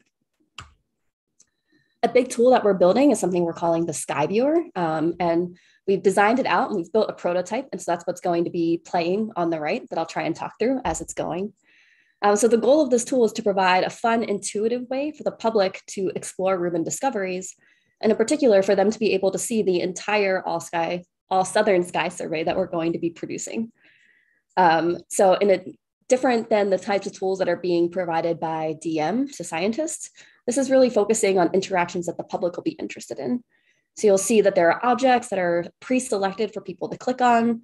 They can still pan and zoom around and get a sense of the scale of the survey and how things are related to each other.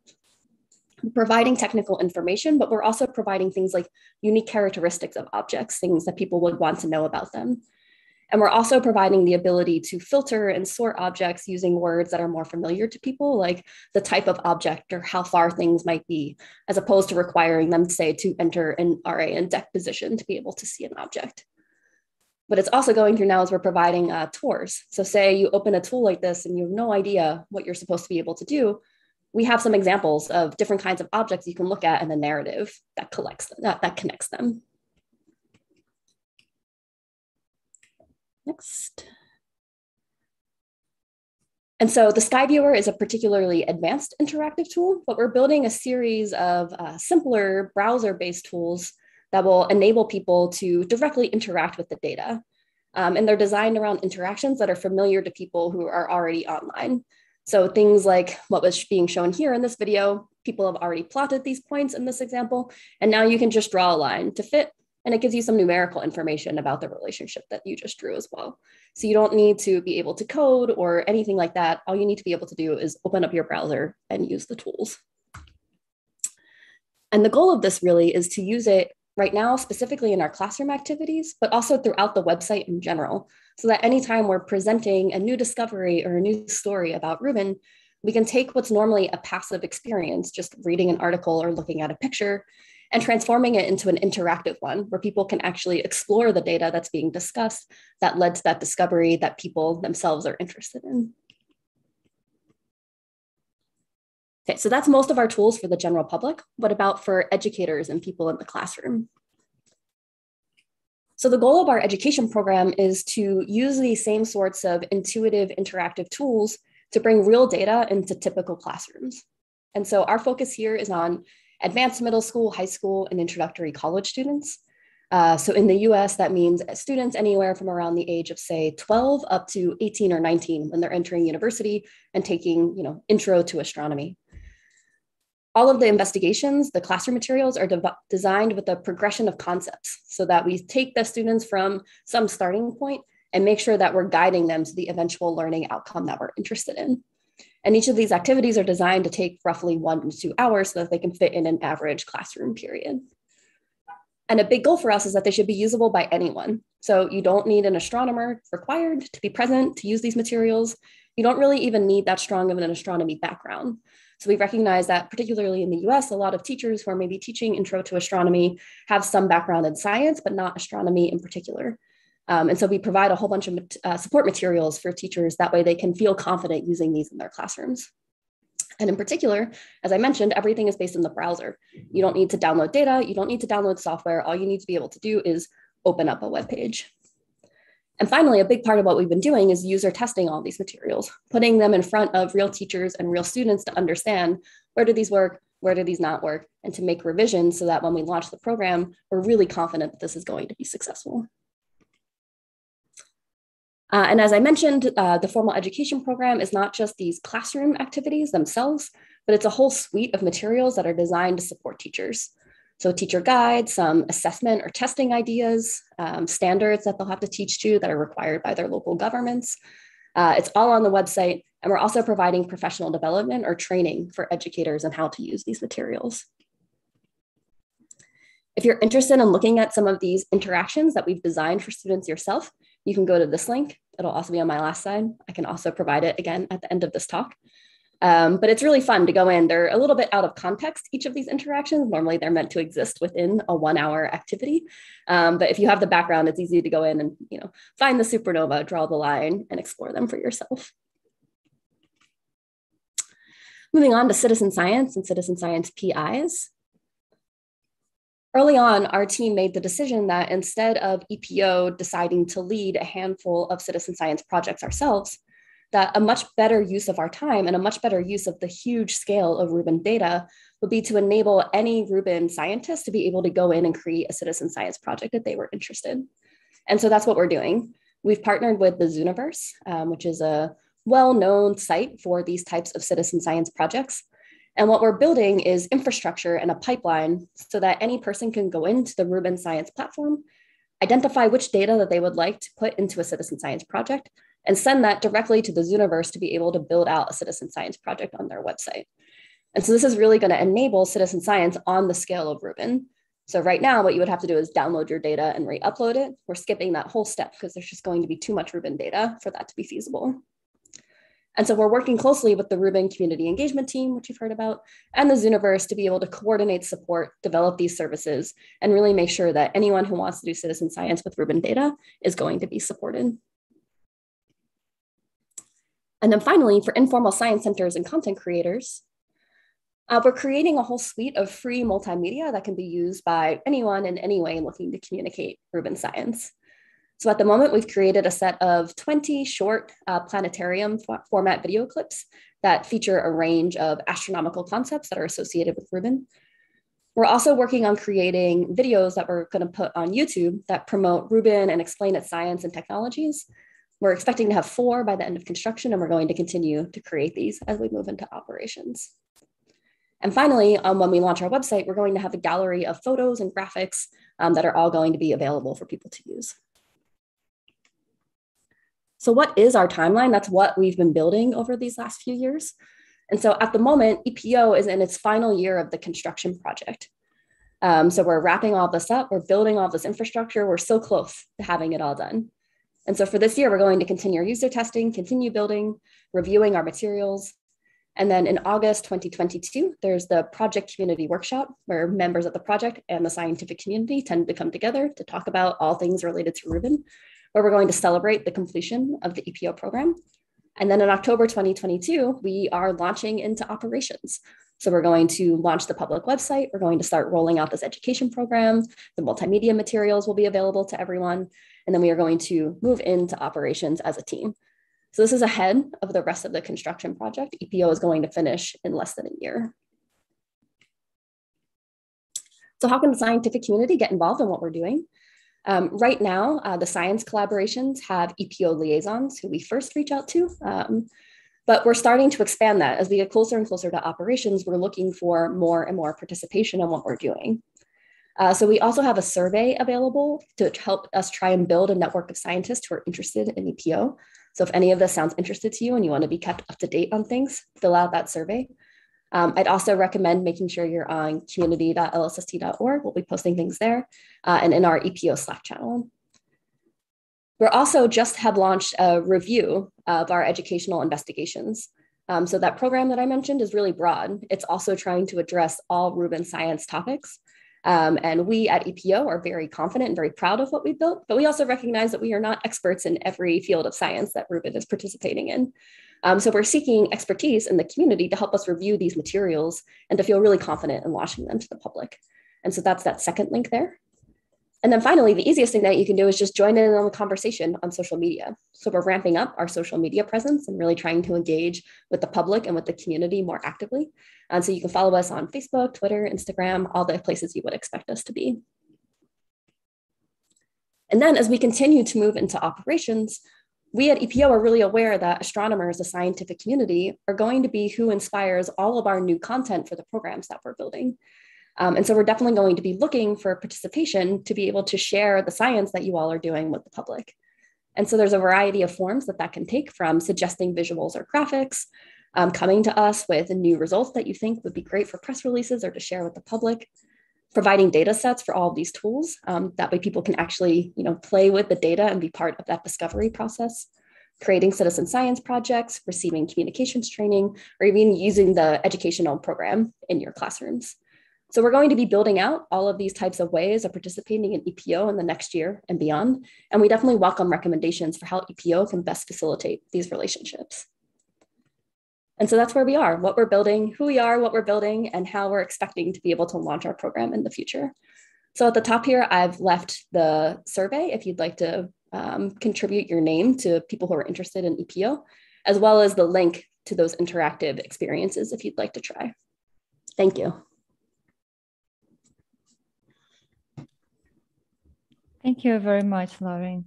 Um, I do have one question. I don't see any questions yet. We, we still have a little bit of a delay uh, from YouTube, but it can uh, appear a question. But I do have a question. Uh, will the EPO apps and tools be available to be used in classrooms worldwide for free, even for those private uh, educational institutions? Yeah, that's right. So our program is going to be world public. Um, and at the moment, it's slated to be available in English and Spanish. But yeah, there'll be no limitations on who's going to be able to use the use the program. Okay. So I don't see any questions anymore. So I thank you very much again. Yeah, thank you. And I'll just go to share my screen again to to just say a, a, couple of words for, for the final remarks. So again, thank you very much for all uh, the participants, all the people that are watching us uh, on YouTube, and special thanks to all the presenters and the sponsors. Uh, if you are watching us uh, on YouTube, uh, please stay tuned tomorrow. Tomorrow, the presentations will be in Portuguese, and we are going to focus on the Brazilian participation, the science that is already being done by the Brazilian groups, and about the new opportunities for early next year. So if you'd like to know how to get involved, please come back tomorrow.